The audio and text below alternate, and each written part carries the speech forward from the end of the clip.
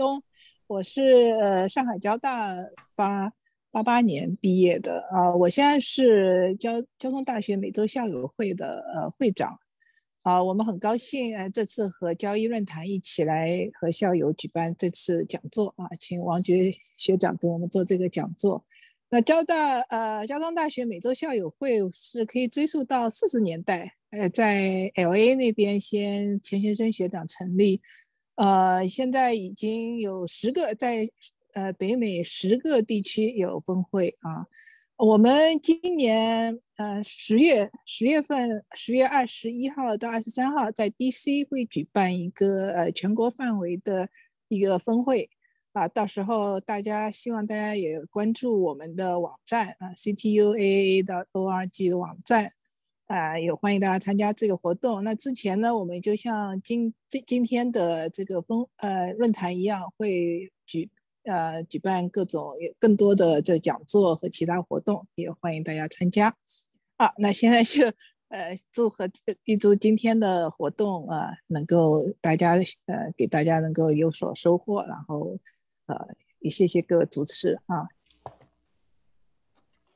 非常感谢谢东的会长的支持啊。我们这次交易论坛呢，非常高兴呢，请到王爵那个前那个那个校友来跟我们讲一下。在前面以前呢，那个关于我们交易论坛呢，我们想请丁医生呢也给大家介绍一下。哎，大家好，我是丁医生呢，我是丁青，我住在纽约，我是这个交呃现在交交通大学医学院嘛。是八二届毕业的，向大家问好。那么我们这个呃交通大学是这个教育论坛，事实上是这个主要是由海外的一些这个上 A 一嘛，就是以前啊现在是交通大学医学院的一些这个校友组成的啊。那么我们这个呃上海教育呃学呃这个学生呢，基本上在外面我们估计大概有数千个人，其中呢。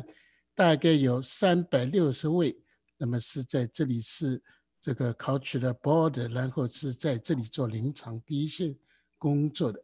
所以呢，根据这个美国的 ECFMG 啊，它的统计，我们这样的一个数字啊，在这个全国高等院校里面是数一数二的啊。那我说数一数二，就是我们离第一差不多，我们是第二啊，是第二，不是第一位。所以我们是在这个。这样大的一个医生的人群，在相对其他高校来说，所以对我们来说是很好的一个资源。那么我们交易论坛上，我们当时还没叫交易论坛，我们第一次这个会议呢，事实上是在二零二零年，就是 COVID 刚刚到纽约的时候，我们有了一个第一次的会议。当时的时候呢，因为对我们做临床的医生来说，这这场这个世纪的病毒啊。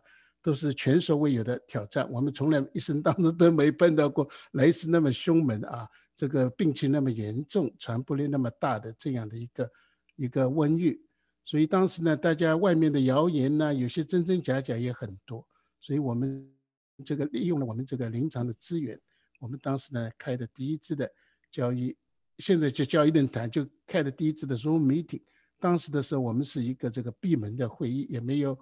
也没有记呃，也没有呃录音啊，也没有，也不是对外的这样的一个交流。那么大家呢，把各个医院呢来呃这个情况呢，大家都讲了一讲。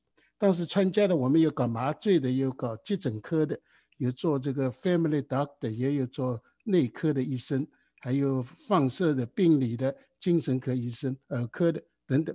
所以我们这一次就是讲的非常的好。我们对这个病毒啊，就是。怎么样扩散呢？什么我们都先都把把脉啊，看看这个病毒的走向到底是怎么样。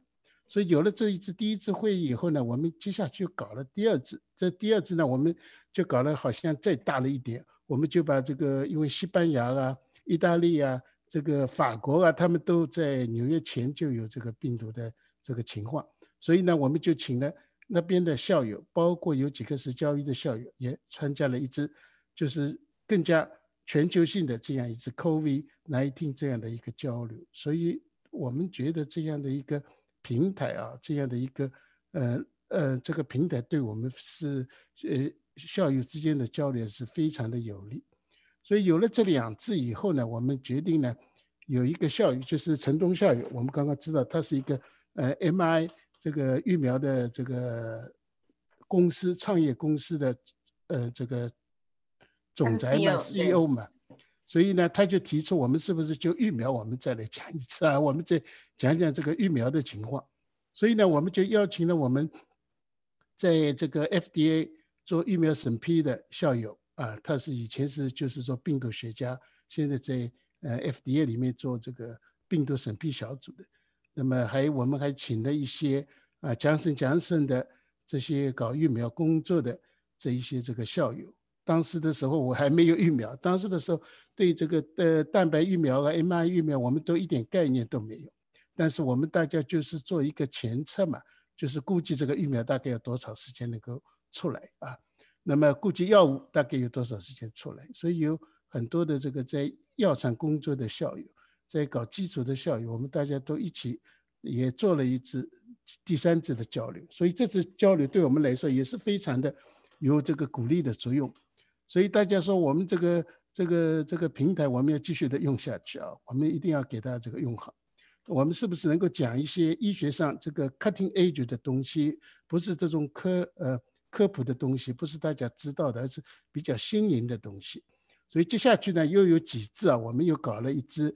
就是搞这个干细胞研究 （stem cell） 的这个这个讲座。那么我们有个校有哥大搞临床 stem cell 的这个校友，他就是在哥伦比亚大学专门搞 stem cell 的，呃，临床的工作，就是临床实际应用应呃应用的这个医生。那么然后呢，我们还有圣安东尼奥的陈晓东医生，那么他是圣安东尼奥这个干细胞研究所的这个所长，那么他呢也是一个。写了好多的关于肝英呃，全部是英文的著作，著作不是文章，是著作。呃，关于肝细胞有一篇叫《Stem Cell from Bench to Clinic》啊，这样的一些著作啊，巨作啊。那么他是这个单独撰写的这个文章的，请他来讲讲这 Stem Cell 在临床的应用和这个它的一些的前瞻。那么接下去我们还讲了一些芳香疗法在康复当中的应用。啊，又讲了这些美国现在的毒品问题，呃，解毒的，呃，这些问题，呃，这个方法，所以我们搞了好几次这样的一个 医学的论坛呢，所以我们是非常的，就是受了欢迎。所以呢，到了以后呢，我们就觉得我们这个论坛要继续的保持下去，所以我们只先有论坛。呃，先有这个讲座，然后呢才冠名 叫教育论坛。我们觉得，哎呀，我们这个论坛搞得很好，我们长期没有一个名字啊，应该要有一个名字。所以呢，我们就就就就就把它取了这个教育论坛。所以我们这个教育论坛呢，是先有活动，先有讲座，然后呢，我们才有了这个教育的论坛。那么后来这个中师校友啊，也进入以后，他也跟我们提出，我们讲了那么好的这个。论坛那么好的资料，我们是不是能够都给他能够归纳起来以后，就是能够有一个呃期刊呐，什么 publish 啊，呃这个弄些这个一的呃一期刊啊，所以我们现在就是一方面呢，就是我们有论坛，还有把论坛当中好的东西，还有其他的同学写的文章，我们也归纳起来，所以我们基本上就是一个是论坛，一个呢就是这个呃期刊啊，就是期刊。我们刚嗯嗯，我们除了这个医学方面的东西，我们还这个进行了一些很多的校友之间的联谊的活动啊，利用这个教育论坛这个平台。那么我们比较呃，就是节日嘛，新年新春的时候，我们搞了这个嗯春节的这个呃叫这个新年新年的这个聊天会。啊，我们这个聊天会不是。像大家看春晚呐，看领导发言呐，呃，看表演，不是这种样子，就是大家像一更多的是是一个校友之间的这个交流跟才艺表演，所以这个每个校友大家都可以参加，都可以献艺啊，有些钢琴呐，有些这个说唱啊，有些这个文艺表演、跳舞蹈啊等等，所以是非常非常的热闹。那么还有一个呢，就是我们搞了一个叫。推广上海话嘛，我们因为这个现在上海话也是非常的濒危，大家知道富语啊，富语就是我们搞了一个富语的吟诵唱活动。那么我们这个富语就是有这个用上海话啊，大家来朗读这个诗歌啊，朗读这个文章，用上海话来唱歌。当中我们还有一个校友，就是他是因为家庭的关系，他对这个古东对这个古汉语特别有研究，所以呢，他也帮我们做了一个小的专题的讲座，关于这个上海话跟这个古汉语之间的关系，并且呢，他还吟唱了用这个上海话，就是不是这个读啊，是吟唱了这个，因为当时的诗歌都有曲牌的了，所以用上海话吟唱了这个十几首。这个古诗啊，古代的诗词非常非常的漂亮，呃，因为这个吟唱这个这个这个这个技术，基本上就是口传的文化遗产，基本上要濒临这个绝灭了啊。现在就是通过这些老的艺人方法来这个靠口传的啊。那么他是全国各地做了好多的地方，所以他就继承了一点这样的一个文化的遗产。那么像这一次我们上海话聊天的这一次。我们还请到了我们，呃，呃，校友里面最最赚钱最多、名气最响的、曝光率很强的这个赵可凡校友，那么他也也上来给我们这个表演了上海说唱啊，上海说唱，所以这一次搞得也是非常的好。我们除了这以外呢，还有这个，呃，我们邀请了这个我们中国的第六代的导演，著名导演这个吴雪阳导演。呃，他帮我们讲电影啊，也来过，一共来了两次了。第一次呢，他帮我们讲了他封城十五年的一个电影，就是上海，上海一九七六啊。大家知道上海一九七六这个名字是非常敏感啊，他就是通过上海的小的人物、小的家庭的情况来反映这个大时代的这个电影，是非常非常好的电影。但是呢，在中国就是到现在还是因为种种原因呢，还没有开镜，所以呢，他帮我们讲这个电影，就是前几个礼拜吧，他同这个年根林作家啊，跟我们又讲了他另外一个电影，一起上来的两个人啊，呃，讲了另外一个电影是关于这个，嗯，SOS 吧，拯救我们的呃姐妹。姐妹，呃，girl 啊，save 呃 SOS，save our sister，save our sister。所以呢，这个就是像有些像讲关于这个铁链女这样的一个情况，那是更早的先例了，不是他们这一次的铁链女的故事是更早的。嗯，他这电影是去年拍的，是去年拍，但讲的故事是更早的故事。对对讲的故事它是更早更早的故事。所以呢，除了这以外呢，我们还这个请了一些，呃，大家能够想象嘛，我们一共还办了这个十六期的旅游讲座。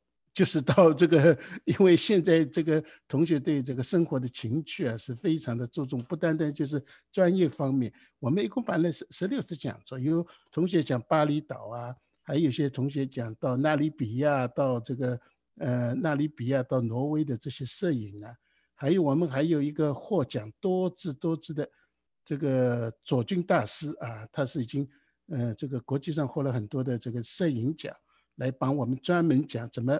照这个光，照这个月啊，呃，照这个田野这样一个大自然的摄影。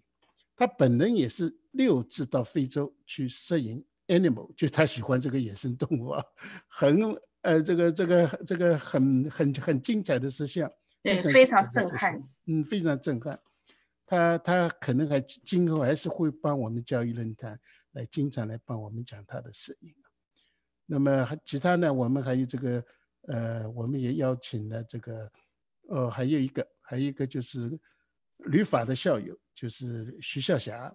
那么他呢是这个继承我们上 A 的传统，他现在是成为一个法语翻译家啊，他自己在这个翻译了二十部法语的著作，二十部啊，这个法语的全部是在中国大陆出版的这个作品。那么他就跟我们讲呢，就是跟着。蒙内，蒙内的光和影来玩这个法国啊，介绍了很多这个蒙内的作品，他的画风的改变呐，他的这个绘画的特色啊等等，非常非常好啊。我们这个教育论坛呢，我们还非常有幸的请到过这个徐静医生啊，徐静医生，徐静医生呢是这个美国纽约的医生，跟我本人是认识的啊。他呢就是他是非洲哭泣组织的。呃，这个这个领导人，他是也是创始人跟领导人，那他先后六次实际上是今年又去了十七次，到这个呃 Senegal Senegal 非洲西非的 Senegal 一个麻风村里面帮这个当地的病人呢做义诊啊。对，到麻风村 去义诊非常不容易，非常不容易，非常不容易。这些照片出来都是非常非常感人。当然，他本人也是拿到美国这个总统义工奖啊，他还拿到了这个 ABC News 的这个哦 ABC 电台的采访，还有这个很多 New York Times 什么都曾经报道过他的情况，所以是这个这个这个非常好的这个讲座。还有这个徐世海医生，他是呃长期到海地去义诊，就是为这个海地的病人男性病人啊。做的一些义工的工作，呃，也是做的非常好。所以他们两个单位现在帮我们这个还有合作，我们在想，今后我们这个教育论坛是不是能够啊有资源的话，我们可以到世界各地去做义诊，包括中国的，呃，中国国内啊，中国国内，我想我们可能呃许多交大的等到疫情开放以后，对疫情开放以后，我们准备去那个跟他们一起去义诊。对，我们也希望很多的人力资源呢，如果我们交，呃。呃，交大的校友给能够给我们很多的人力资源呢，在他们知道的，因为因为因为他们的接触面比较广，我们基本上就是医院呢、诊所呢啊，呃，当然我们交大校友也一直上，他们也是做过我们讲员，像陈红校友啊，像徐志勇校友啊，他们都帮我们讲过这个西班牙、法国的旅游啊，也是非常非常的感谢，也非常非常的精彩。那么除了以外，你们你们可能想不出的，我们还做了很多的财经讲座。我们这个交易论的，呃，这现在这个交易的校友啊，真是都 真真是能人很多。有许多就是后来经商的也有，做 CEO 的，呃呃，做保险的，我呃可能大家知道，在旧金山也有做做的很好做的呃保险公司的，还有在纽约当然也有。那么做保险的，做 Wall Street 的啊，做房地产的都有。我们上次搞了一个房地产讲座呢，就是纽约费城，还有这个，还有这个 Georgia、佛罗里达，大家这一些房地产都是校友上来，哎呀，真很热闹，都介绍他们的房地产的这个情况，非常非常好啊，非常非常好。我们还有一些校友专门上来讲这个 stock option 的 trust 啊，基本上 life insurance，所以我们大概也动了七八七八个这个讲座啊。但是关于医院管理，关于医院管理，医院管理，我们有许多校友，包括中学校友，他们都是参与了医院管理的工作。但是关于这个医院管理的专门的讲座，我们还没有，还是第一次。所以我们今天很高兴请到这个黄玉，呃，这个这个黄居的这个校友，呃，校友啊，来帮我们介绍一下医院管理方面的最最新的这样的一个情况。谢谢啊。对，今天非常高兴啊！我们请到黄觉校友，他来给我们讲讲这个大数据库在医药医学方面的应用的事情。呃，大家对那个黄觉校友呢，呃，大概应该是非常熟悉的。嗯，他是南阳红优副呃副呃那个副董事长，红优信息。那个总经理，他非常熟悉那个大数据的管理。呃，大数据在我们这个在我们这个数字化的时代是非常非常有用的。每每次我们有时开发出来疫苗，就是都会说：“哎呀，这个多少百分比呀，多少有用啊？”或者，因为其实我们医生就给人家开药的时候，也会想到：“哎，这个药百分比多少会有用，百分比多少没有用，或者它的副作用什么东西，什么都是用大数据。现在这个大时代就是用大数据说话，所以呢是非常非常。那个非常有用的，所以呢，我想我们接下来就把话筒那个时间呢都交给我们黄觉校友，好不好？呃，谢谢孙迪啊，谢谢孙迪然后我们一起交流说这样一个 talk。那我今天的也谢谢那个谢东会长啊，也谢谢安九丁医生啊，给我这样的机会给大家交流。但我这里稍微纠正一下，我今天来的话呢，这种是抛砖引玉的，就因为这个大家都知道最近上海这个疫情嘛，就是大家。可以知道，我从业了这么多年，也这方面做了一些工作，也不能说是专家，只是说我刚才看了一下，这里面有很多人都在从事医院方面的 IT 应用，IT 就是信息技术啊，这个词。那我，嗯，我把这个屏幕共享到，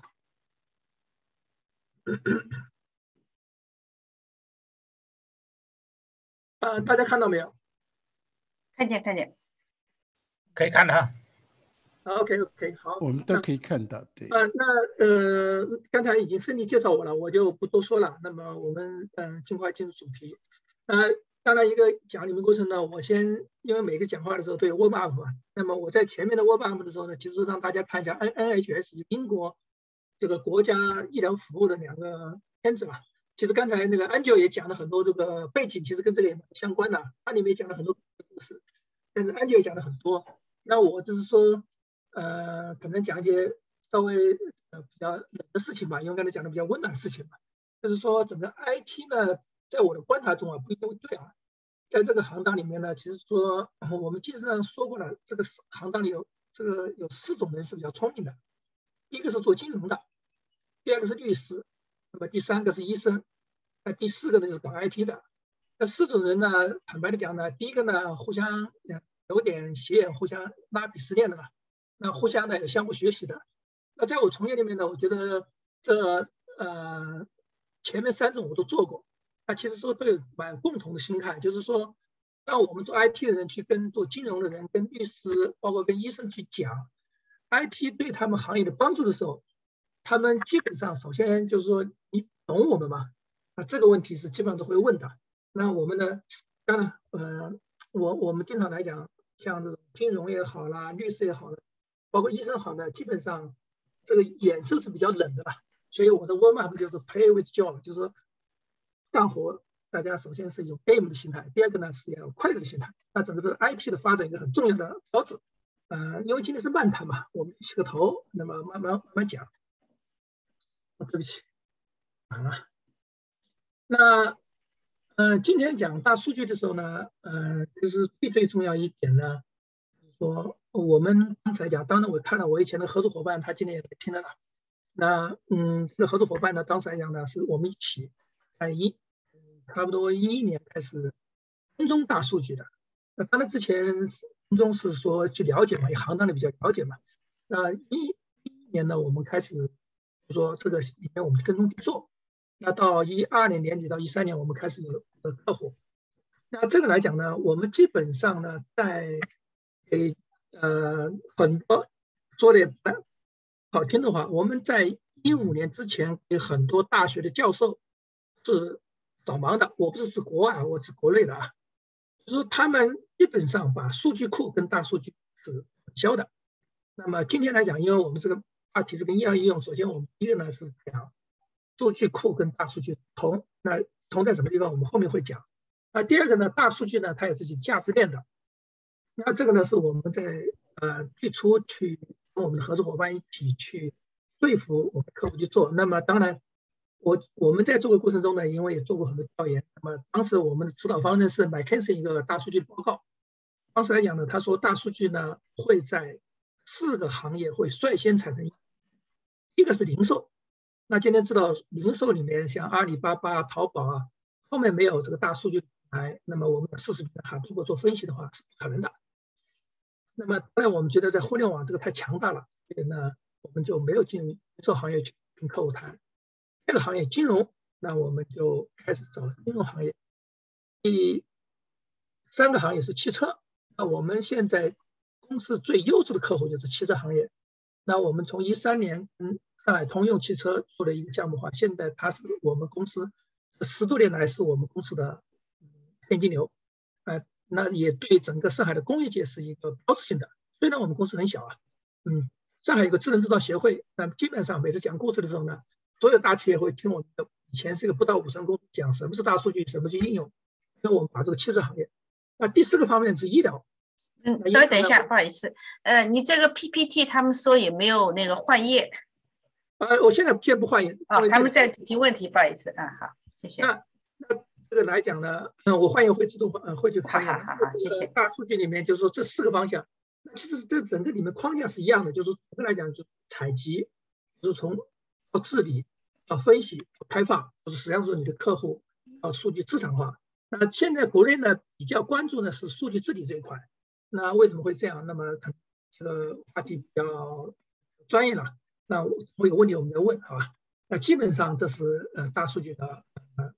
一个比较完整的流程，那这个来讲，到后面来讲，在医疗里面做的时候，你们肯定对比。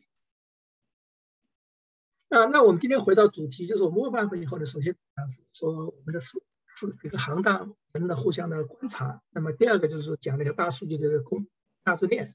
那第三个呢，就是回到我们今天讲，那我们首先做事情嘛，因为在国内的时候呢，呃，我个人发现一个现象就很有意思，就是说，呃，我们每一些很杰出的人物，基本上都会说，我有什么想法，我来告诉你。那这个来讲呢，就是说呢，呃。在九十年代就存在，那么现在呢要存在，也可能更流行一点。因为中国这几年，在二零一三年之前应该是很成功的吧？那这个来讲就会引起人家说，哎，很多很多人都说我们会怎么成功？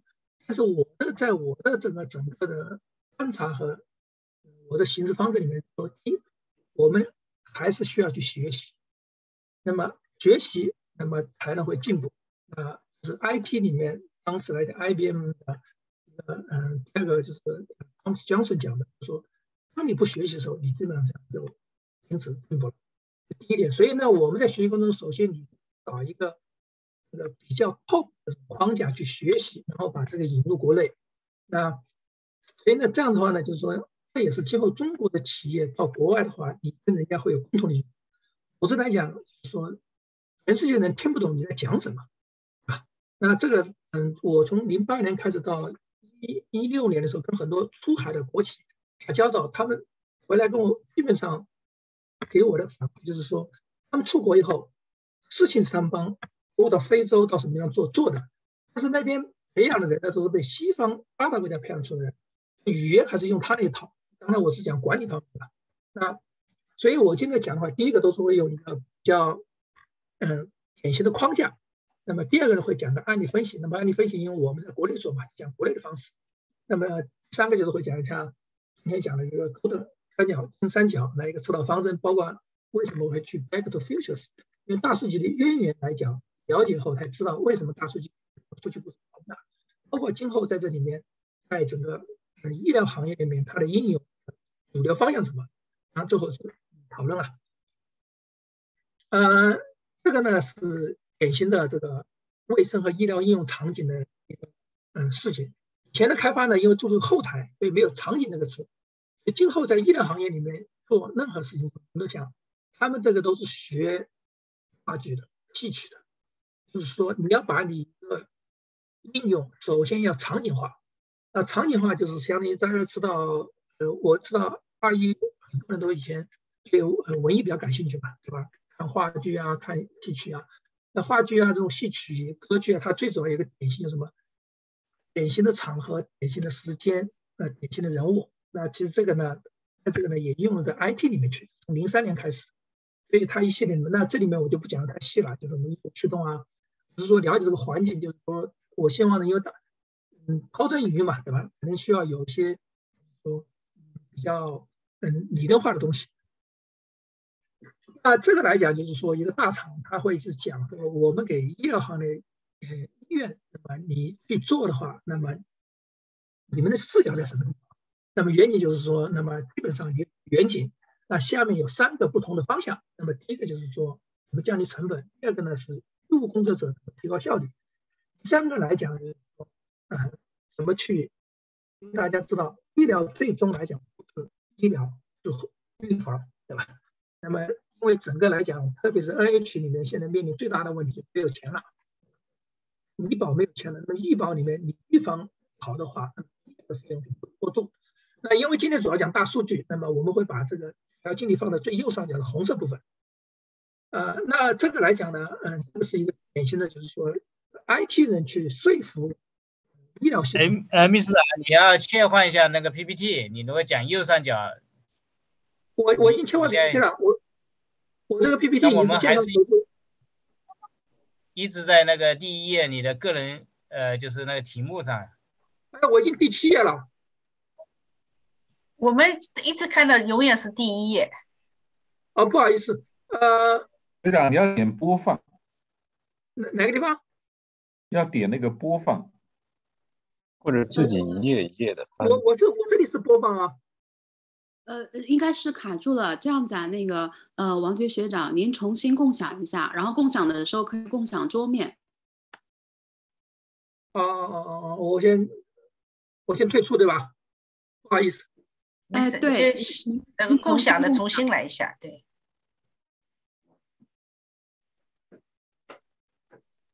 呃，我先退出共享对吧？现在在动了，Warm up one，第二页。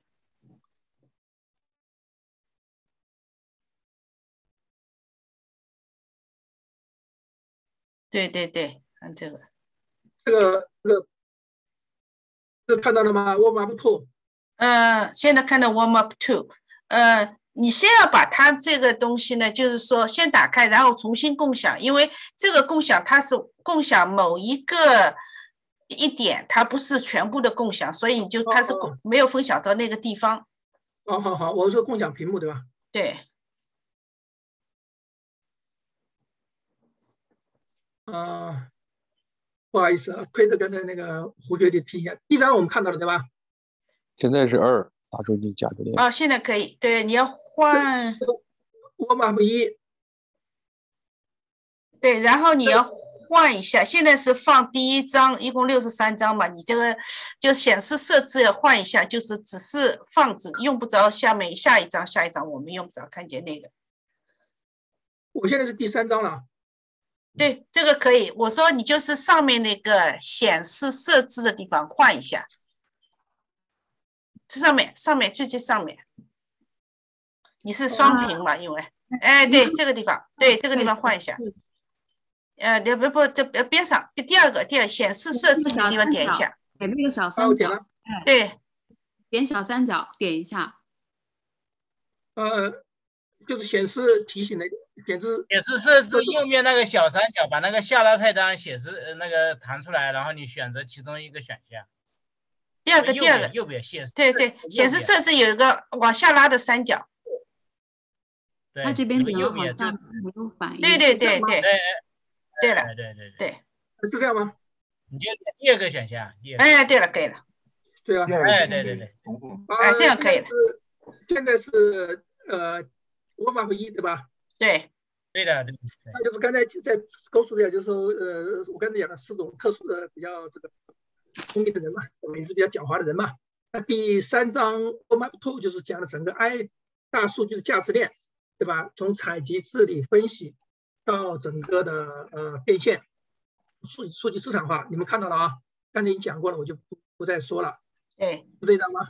对然后，那这个就是我今天开始的，就是说我五个部分，就是典型的卫生医疗慢一点慢一点，没看清楚，对，看见一二三四五看见了，对哎，OK，那么讲的就是，呃，那这个就是典型的刚才讲的场景，就是这个场景是基本上就是说，呃，现在的 IT 应用是客户来讲，比如说医院呐、医疗机构啊，就是讲的场景化，那么就和管理人的远景啊、业务业务驱动啊，然后根据这个整个场景的去分它的场景描述、情节提提醒啊，那么这是一个比较标准的流程。那那我们刚才讲的就说，你你来讲医疗机构，因为前面已经讲过了，就是以市民为中心嘛，最主要是啊。那么有三个主要方面，一个就是说内部的运营，第二个就是提高整个整个医医疗业务者的工作效率啊。那么第三个就是说通过分析来做到预测，帮助市民来更好的做护理预防。那整个投资的驱动环境可能就是讲老龄化啊这些来讲，大家其实特别是医疗行业都比较清楚吧。那么第二个呢，就是会讲你在这个整个的 IT 重点的投资领域，第三个带来是说投入投资你带来哪些优势。那今天因为时间问题，我们就基本上这是一个标准场景化的框架。它这个场景来讲，也会把整个的就医体验从 IT 角度来去看这个东西。那嗯，这个呃，基本上从出现症状，呃，我们会看一下，去安排。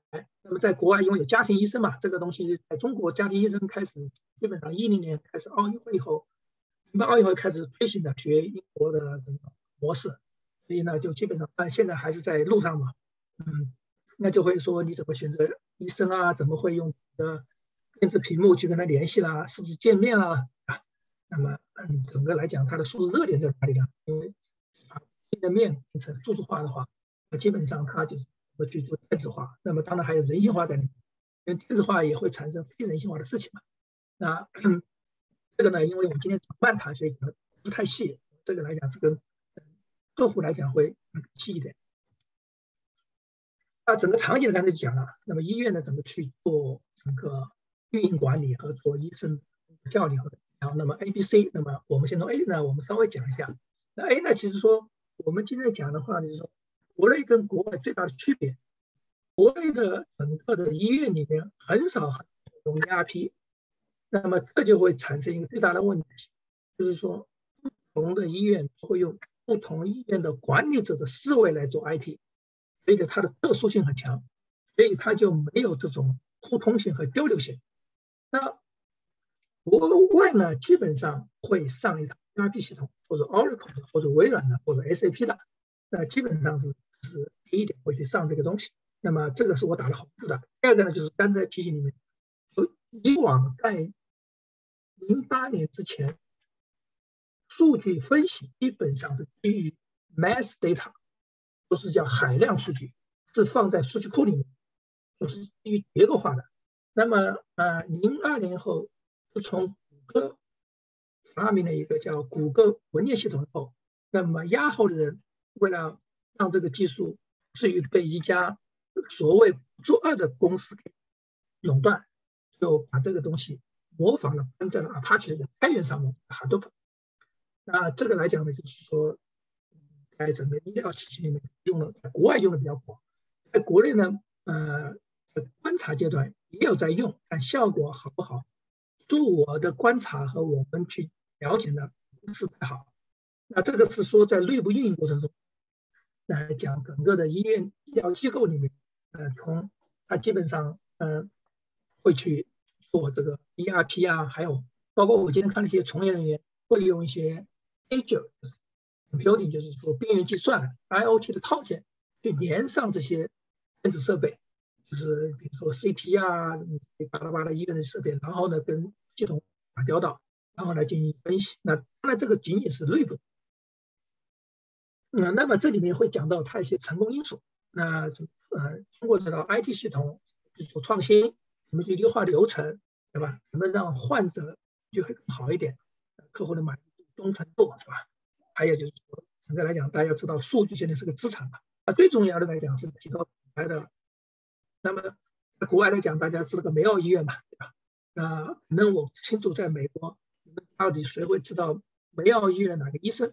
在中国有很多时候有很多好的医院是靠医生来做品牌。那那这就是说用 IT 给他做的好处。那因为这细节我就不说了。那那以患者为中心呢，也因为是。会有一个整个的阶梯的，你第一个阶段你应该做什么？那么第二个阶段要做，第一阶段嘛就肯定是数字化的就开发电子病。那开发电子电子病历呢，就是说这里面，嗯，第一代呢大家都是基于数据库的。那么第二代呢，嗯嗯，差不多在零八年以后呢，那谷歌当时在在美国就呼吁呢，就说电子病历放在数据库呢是数据是割裂的，就是直接数不生灵。那大家知道，医生是需要描述的语言去跟医生病人去谈事情，而你放在数据库里面就变成，比如说我的名字、我的出生年月都是放数据库隔离开的啊。那特别是在互联网时代画像嘛，那说建议呢开发文本型的，那文本型呢就会带来好处，就是会去做一个描述型，甚至用户的患者的心态也会从你的描述的描文字描述里会体现出来。嗯，那中国呢也同时做的话是第二代的话就会在一个字节里面，数据库里面一个字节里面放上一千个字的，一千个字。呃当然呢，这个好处来讲就是说它简单，但是呢也消灭了很多技术了。那这个是当然，在美国后来是不是用了谷歌的方法，我也不太清楚，因为整个我刚才不是讲了嘛，就是说呃三大行业，就我刚才讲金融啊。医生啊，律师对 IT 还是比较工作的，他会有他自己的行事逻辑的，呃，基本上我们说，但是在中国呢，在美国呢，也有一种变通的方法，这个方法就是说，你来了后可不可以录音？那我去过很多国内的医院，他们就是说，为了今后能一些患者之间的数据交流，就是说你来的时候说，就是说，当然也是为了有很多医闹嘛，很多很多患者去闹事嘛，那就说我来录音。那有很多觉得哎可以，所以呢，嗯，我们去过一些南方的城市大医院呢，还有很多很多新的数据，他问我们怎么处理，那么当然，嗯，就是说准备很多，那么这也会造就了现在一些苏州一个交大一个教授群里啊，苏州人文公司，他们现在的很多的精力就在做这个患者的语音分析，这就是 IT 来做事情。那么上面后面就要做全渠道，那大家知道什么叫全渠道呢？就是说你可能需要电脑、手机，对吧？或者电话啊，老年人电话来跟你的工作人员打交道。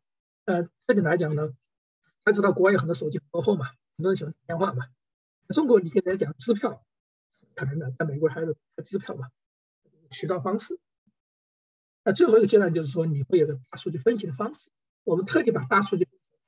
开就是为了避免大数据和数据库里面做的东西是不一样的数仓那，这个是我们再次强调。我换了一页了啊，那么讲的是整个这个过程中你会一些人工因素、这些指标那，这是跟像我我 IT 经理来讲，我并不是来给你纯粹来我跟你做开发的。现在做 IT 就是讲，哎，我就是你做你是有什么想法，我给你偷点啊。所以有个不好词叫马龙嘛。今天来讲就是说，我们其实说帮你做什么。那这个来讲就是说，哎，那这里我就不多花时间，原因就是说，这里面就是在整个医院里面工作效率，现在 IT 里面一个重要的词叫 digital workplace 或者叫 modern workplace。那特别疫情发生以后呢，靠这些过来的公司呢，基本上都发发财了。像微软的 Office 三点五，因为我们 Zoom 吧。那么基本上就是说，这件事情基本靠这个来讲是，嗯，赚了很多钱了。而且呢，因为很多员工在家工作，那么这个显得重要性越来越强。那正因为我们今天讲大数据分析，我们这个展开了，那么也会讲这也会带来什么好处。那今天我们最主要重点是放在要保健这个上面。那这个来讲呢，就是为什么我们当时请你们看电影，就是说整个里面整个医疗服务里面，宏观政策会对它影响大。那这个来讲就是说，你一个医疗机构，你那个宏观政策相关；第二个跟政府相关的话，就是说你会要去给用户去画像。那你画像过程中呢，你可能拿的数据就不是你医院里面的数据，你要拿医院之外的数据，像人口啊、环境啊，啊，那这些来了解。那么自从有大数据以后，这些都成为一种可能。那虽然从外部拿数据，嗯，这个是一九九四年彼得·杜鲁克。IT 的一个非常重要的忠告，就是你们 IT 这么多年一直做的很差，对吧？那么在九四年说最最重要就是说没有外部数据来替代内部数据，就是相当于说批评 IT 比较内卷了。那么在零二年之前呢，在这个哈多个出来之前呢，基本上这个来，嗯是比较困难的事情，也不是说没法做的事情。那么自从有这个工具以后呢，这个属于爆炸性成长。那你们现在去看一些互联网公司。中国看国外的分析平台的话，基本上都会有哈多个这个平台。当然还有些有些原生的很多平台，什么 DataBricks 吧。这个美国有个特点嘛，就是竞争激烈，不同的平台会巴拉巴拉很多。我觉得对医生来讲，你们医生肯定会听得懂。那我们今天先专注的讲哈多，它是一个比较流行的工具，也是启动的工具，但现在不是唯一的工具。三句话。那么最主要的强调的是医疗洞察。那最主要的。洞察什么地方？就是你从外部数据来怎么观察你内部数据啊？最主要来讲，为了让整个患者是从预防角度考虑。呃，在中国呢，其实说从零八年开始，就是说社区医院以后，就国家就找了几个城市去做试点。那么当时我们也跟这些厂商合作，我想一起做的事情。但反过来讲，我没做的原因就是因为呃钱太少，就这方面他们不太愿意花钱。嗯。中国的医院系统呢，在内部系统花钱来讲，以前也是不大方的，现在大方，但是呢，总归是跟整个业界是合拍的。那这个来讲呢，你们可以以后去问问你们，嗯，医生朋友做院长的什么东西啊？那基本上这个判断应该是比较符合现实的。当然，因为我们这个我们是实证嘛，没有研究的这个样本比较少。基本上这样情况，那么这是这个国外比较新东西，我们借鉴进来就去做。那包括前面讲患者用一些嗯微软啊、谷歌的眼镜啊，还有穿戴设备啦，来给患者提供东西吧。啊，基本上来做接触研究啊，它也是一个比较标准的流程，会把前面讲的内部的，前面两部分可以结合在里面做分析。那么这个分析反过来就是说，触动改进你的工作效率的，改进你对患者的医疗。那这个就是基本上一个标准大厂或者咨询公司来讲，去对医院做服务的。那么呃，中国的医院呢，就是说在十年前呢，对这个来讲呢，呃，还是比较认可的。所以说，有些国外的大厂呢，在上海呢做了好几家大的医院，但做下来呢，嗯，最后。嗯，效果来讲呢，最后感觉也是 so far 是 good 的。那后来我们也想在第二步进去的时候呢，就是探讨过这个问题。啊，最大的问题就地方就是说，其实还是一点说，医院里面到了医生里面做了一定时候说啊，这些东西就这么多了，那肯定就说又把主导权拿回去了。怎么讲呢？说，我你你的东西就这点就这点货了。下面呢，因为懂业务还是听我的吧。那么这个来讲呢，就基本上又陷入下一轮比较困惑的时期。嗯，那这个就是基本上我们讲框架。那这个来讲呢，就是比较理论性的，就是说从 IT 来讲，从变革角度，从这种业务是变革、投资目标来讲带来一些好。我就不多说了。那么也会讲从战略啊、价值实现来讲呢，会给整个医疗机构。会带来哪些好处？你分析啊，这个来讲都比较专业化。嗯，包括它的整个呃分析的创新啊，包括它的旅程啊，第一阶段做什么，第二阶段做什么，就跟我其实前面讲的四个阶段是比较吻合的。只是有个红字要看一下，就是说叫启用费用管理，这个来讲是目前在国内做大数据里比较缺少的环节。那么第二就是第二个环节，第一个环节呢，就是。要更基础，那么因为嗯，我想可能更多的术语不说了，那可能怎么问可以问啊，嗯，那刚才讲的基本上就是讲了一个我们在做信息化的时候，你首先会有一个比较呃标准的或者说嗯就是可推行的一个框架，那么根据这个学习框架你去推行项目呢，你会跟国际上的应用东西会在同一个起跑线上，那你学多少能知道。那就像大家知道，我们以前打篮球的嘛，打篮球的时候，那你教练跟你讲说，你当年我们看电视比较少，那么就说，哎，你像上海队某某，比如说我们的张大伟，对吧？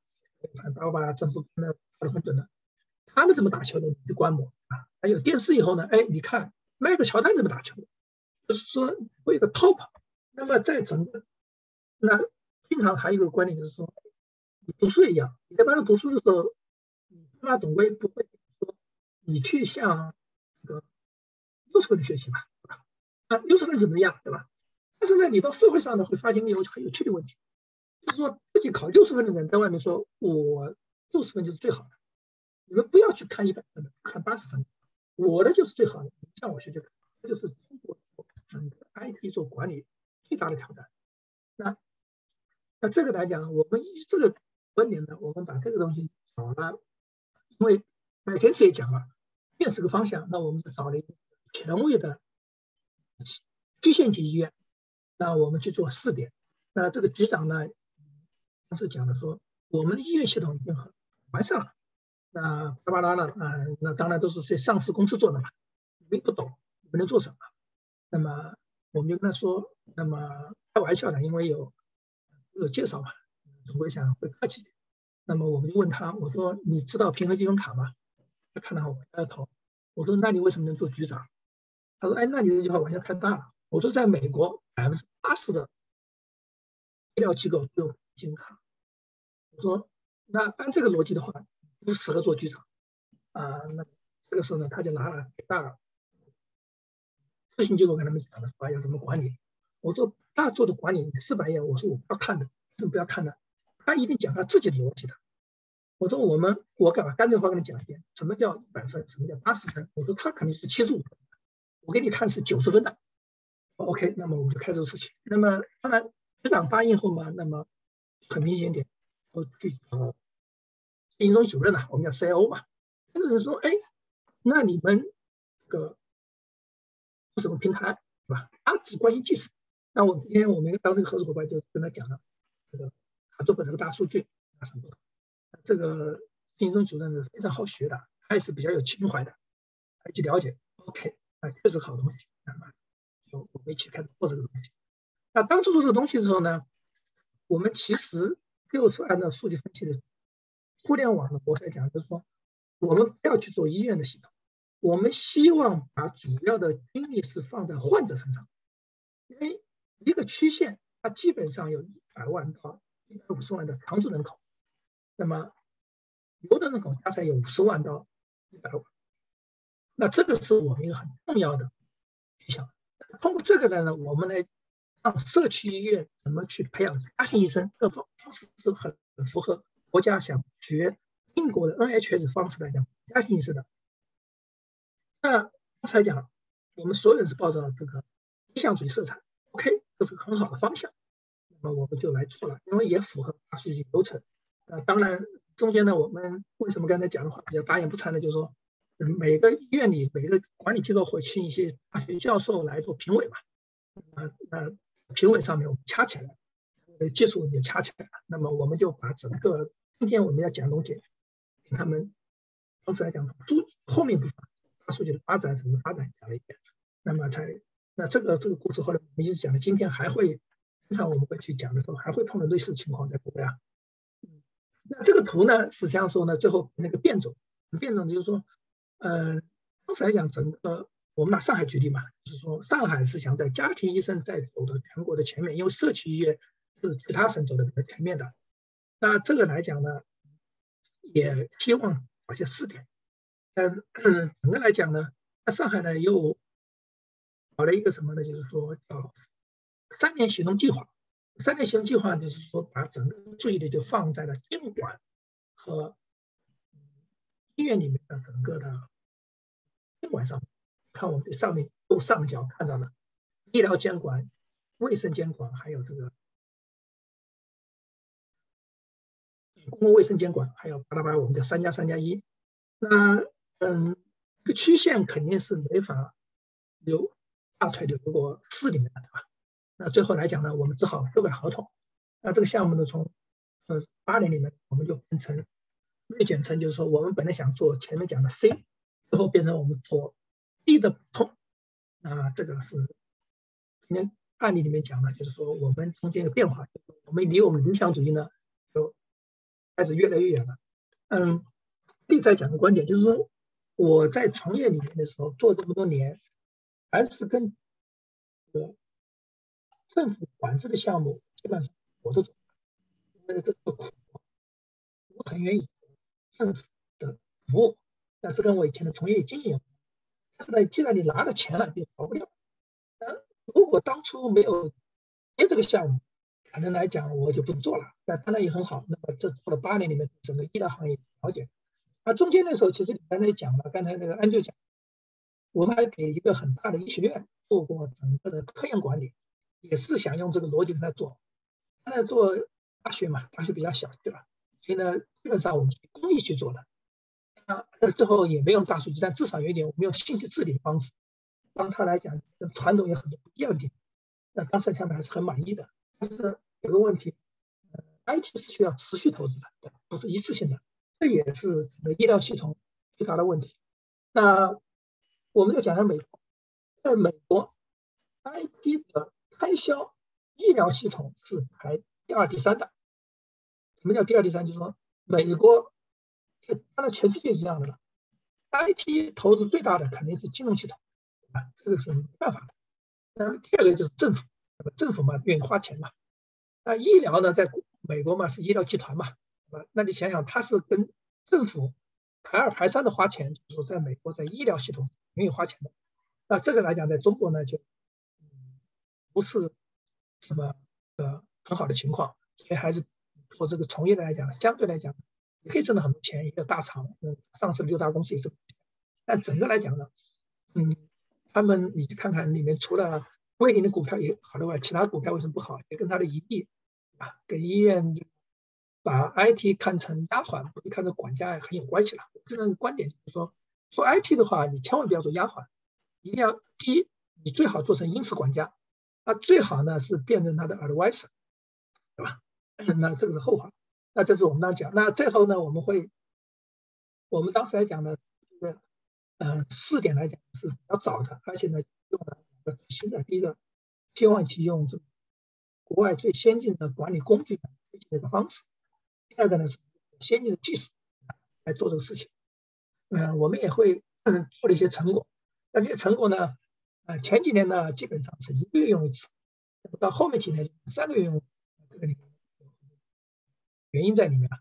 那我先讲一下，比如说抗菌药啊，呃，那么我们这里讲一下，这个过程中我们有一些价值所在吧。那比如说我们讲医药监控的时候，那大家知道中国的抗菌药实际上说但是其实比较多的嘛。那么这个也得了很多诟病。那么，嗯，当时局长就说：“你能不能给我一个分析报告，来怎么减少这个东西？”我说：“OK，我们一起来做吧。”那这个正好这个时候呢，呃，有一个很流行的厂商来了，就是说，嗯，你不用说分析来讲，我们从流程来讲。那流程来做呢，嗯，可以完全控制。你分析完了不一定能控制这个东西。那局长就说他们就。他们也报了个价了，而且他们也基本上得到很多上级单位的认可，就是它系统很好，对吧？在每一个环节去控制东西，嗯，而且呢，在这个医院行当里花了很长时间。刚才也问我们说，哎，你这个厂商在这个行业里才搞了两年，我们已经做了二十年了。后来局长就看着我说，那你怎么去跟他说这个事情呢？我说，哎，我说呢，我基本上在这个行业里会有两句话来说，一句话呢叫软件。毁灭一切，同样的是软件可以定义一切。我说呢，他这个软件呢，说我不要看，你也不要演示给我，因为当时他们俩演示给我看嘛。我说我可以告诉你，它每一个节点会有多少人签字，巴拉巴拉巴拉的。我说呢，这个系统呢，就用句话难听保险。局长说，你为什么这样说？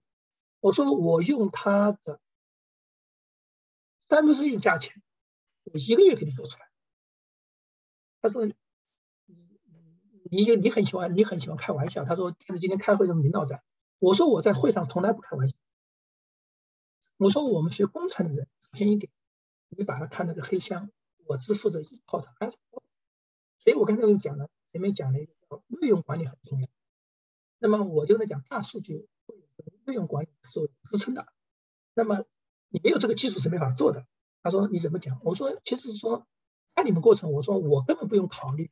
院长签字，什么医生签字，什么库存的签字，什么签字？我说，哎，don't care。我说你想过没有？现在医院里采购抗菌药，厂商是不敢作假，为什么？在中国做发票作假，那你基本上的判刑是很重的。啊，中国因为这个税务这个方面是很严格的。那么我说，你这个发票是不假的。我说你第二个，你给。患者开出去的发票里面开了什么抗菌素会做假吗？我说那谁不敢。对呀，我说我把第一张发票拿来，我做扫描，我扫描完以后，我去算出多少进货，每天把患者的发票弄进去，我再扫描一下多少。你知道中间你用数据库的话，是所有人可以改的。那你们也知道中国 ERP。国外的 ERP 厂商进中国最大的挑战是什么？我现在不知道啊。反正在整个进中国的 ERP 厂商进中国的时候，SAP 也好，Oracle 也好，无论也好，他们最最痛苦的是财务要做两张报表。这个来讲，我点到为止。所以在医院里面，为什么会有这么多审批？就是想，因为数据库是，你总归有。责任人的，他就可以改数据，对不对？所以我说你这些过程，哎，我 care 吗？我说我不 care 的，因为你怎么防，他也会改数据的。我说只有它的源头，这供应厂商他敢改数据吗？发票改了话他坐牢。医生改了换人可以做吗？哎，所以我只有那三分之一。我说这就是大数据的基础。那么我说今天你讲到这里，说明我虽然没有他懂医疗，但是我懂常识。对不对？那么所以说，在一 IT 行业里面，在很多的时候，是很多时候，很多时候是偏离常识的，这是你们要记住一句话。那国外的情况，我相信也存在的。么存在？我了解不多，我也了解，因为什么呢？我在微软时候陪过政府代表团去澳大利亚考察，那么也讲了这个过程。这就是数据最大的问题，就是说他的责任人是可以改的。那么你首先来讲，这就是整个过程中要要什么叫治理、叫风控和合规啊。这张照片我多讲点。那那今天是漫谈啊，有的地方少讲点，有的地方多讲点，那也是我们当时很得意的地方。那这个东西就不得意了。那么每家公司那么都会比我们做的好了。那我们就是说讲讲我们当时做什么。那这一章呢，同时来讲呢，也是就是说我们做全面预算，我们也是比较低的地方。但是呢，推完以后，预算也很认可，嗯，试点的也很认可。基本上按照一个区县里面有二十多家。社区医院，那么有到八家的二级医院，还有几家三甲医院。那我们基本就是说，我们不想去做二甲医院，我们只想做社区医院，我们只想做家庭医生，是我们的强项。是因为这个规划把我们合同改了，必须做事情。那我们也是跟他做设计院。那设计院里面就很明显的，我们跟他一起四点医院一起来做，就这个方法做。我们这里面做的过程中，我们也是采用方法，就是说你要做这个东西的话，第一步首先来讲。自己角度考虑，综合角度考虑问题，就是说让这些东西，第一个没有可可感性，第二个数据汇总上来以后，其他的方式来比较。那我们也请了一些这方面的专家，那专家呢也不是做医院管理系统，因为我们认为医院的财务系统管理是很落后的，我们是从一些企业的，那我说的企业主要是外企了，那这就白起马了。当然有很多人说你可能这个观点不对，那无所谓。我们这个东西私下聊的话，这个是有很大差距的。那哎，这套系统不错，但是推行下去后呢，那么就遇到很大的挑战。那么最大的挑战就是医院里拿的补贴啊，医生的奖金很多。那这个来讲，呃，局长就有退堂鼓了。嗯，所以呢，我们也就讲了，这也是给我们的教训，这是违反以前。美国有个墨菲定律，你知道吗？就是可能出错的地方一定出错。说在我这个经历过程中，凡是成功的项目，一定不是运营中心驱动的，我们叫 C O 驱动的，一定是业务驱动的。但是我们这地方虽然局长是做业务，但是整个驱动是 IT 驱动，所以我们停下来了。那嗯，是试点还是做的不错了，我们也就不看了。那这个来讲呢，其实跟今天很有关系的。那嗯，就是我们刚才跟你讲说，哎，那因为我们做了七年嘛，在过程中，就说领导认为平面计划也好啊，这个管理工具也好，那么你采用这些技术也好，嗯，都是很对的啊。因为反正老王啊，你也不愿意啊做丫头嘛，对吧？呃，经常跟我们说早上九点下班，下午五点下班的，我也不让我同事加班的。但是这个跟其他 IT 公司讲，都觉得好像有点奇葩嘛，嗯，那。那么做的创新事情，那么说 OK，那我们 IT 来给你做一个，刚才讲做一个，当时是个感冒呢，做个热力分析。那么，那我们讲说叫一个区域里做些热力分析，那么这也是大数据的强项。那这就会存在一个问题，钱从哪来啊？因为我们以前做的项目钱全部都用在内卷管理上面去了。那我们做完试点后，所以下去有钱吧。下期有钱的时候，那么再拿到钱的时候，那么又去做前面的事情，那么这方面呢，钱呢就比较多，那最后来讲 也就无疾而终了。所以说呢，我们当初来讲说，如果理想主义来讲，如果我们在三年前我们能把家庭医生制度用好啊，如果能做些热力分析的话，那么可想而知，今天可能会对今天的东西会不会有帮助？嗯，从理想角度，假设。可能会有帮助，但是这个世界上假设是不存在的，已经过去了，对吧？但是就说，这就是说我们这几年在医疗行业里面两大用科研管理，科研管理的都谈了，那么包括你们前面怎么去做知识转换，有各个问题。当时我们就是包括我们也交大复旦的一些人做了一些专利公司去配合这个学院做事情，就是想把这个按照前面讲的那个大数据大质链去来做。那么这个来讲，就是说只是讲观点。我们有比较好的工具去学习，工具基本上都是国外成功的，对吧？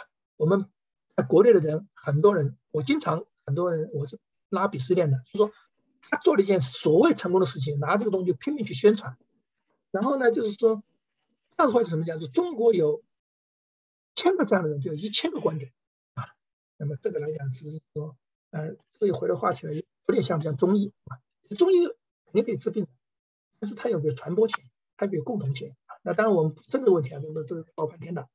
那么我只是说，这是我们几年的这痛苦啊，基本上就是前面我根据我的依据的框架，我们也做了一些实践，嗯，包括一些观察，我们做了一些事情。回过来讲讲讲，讲完了后，那我们再回到，呃，这些东西为什么会不成功，或者说哪些东西会成功？那么我们还是回到今天来讲，今天的视角去看看这个 IT 里面。那么这个是全球性的，我相信如果海外的人士有从事医院管理的相关的话，会有些帮助。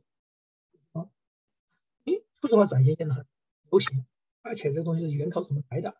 那么它的转型的方法、目标就是包括我跟他，其实这个 P2T 不是这样的，P2T 其实在你在网上查到在 PPT，你去网上查到 Process People Process Technology，那么他们基本上是。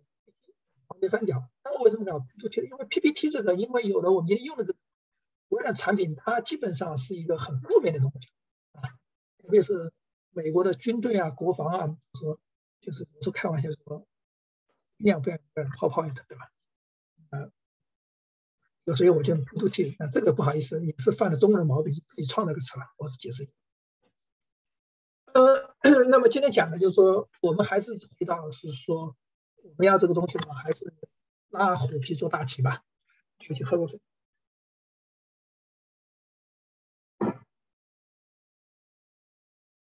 呃，这个呢是麻省理工的那个普通学院和前期做的研究，他们就认为呢，一个理想的企业是通过数字技术改变企业的流程，全面利用人才。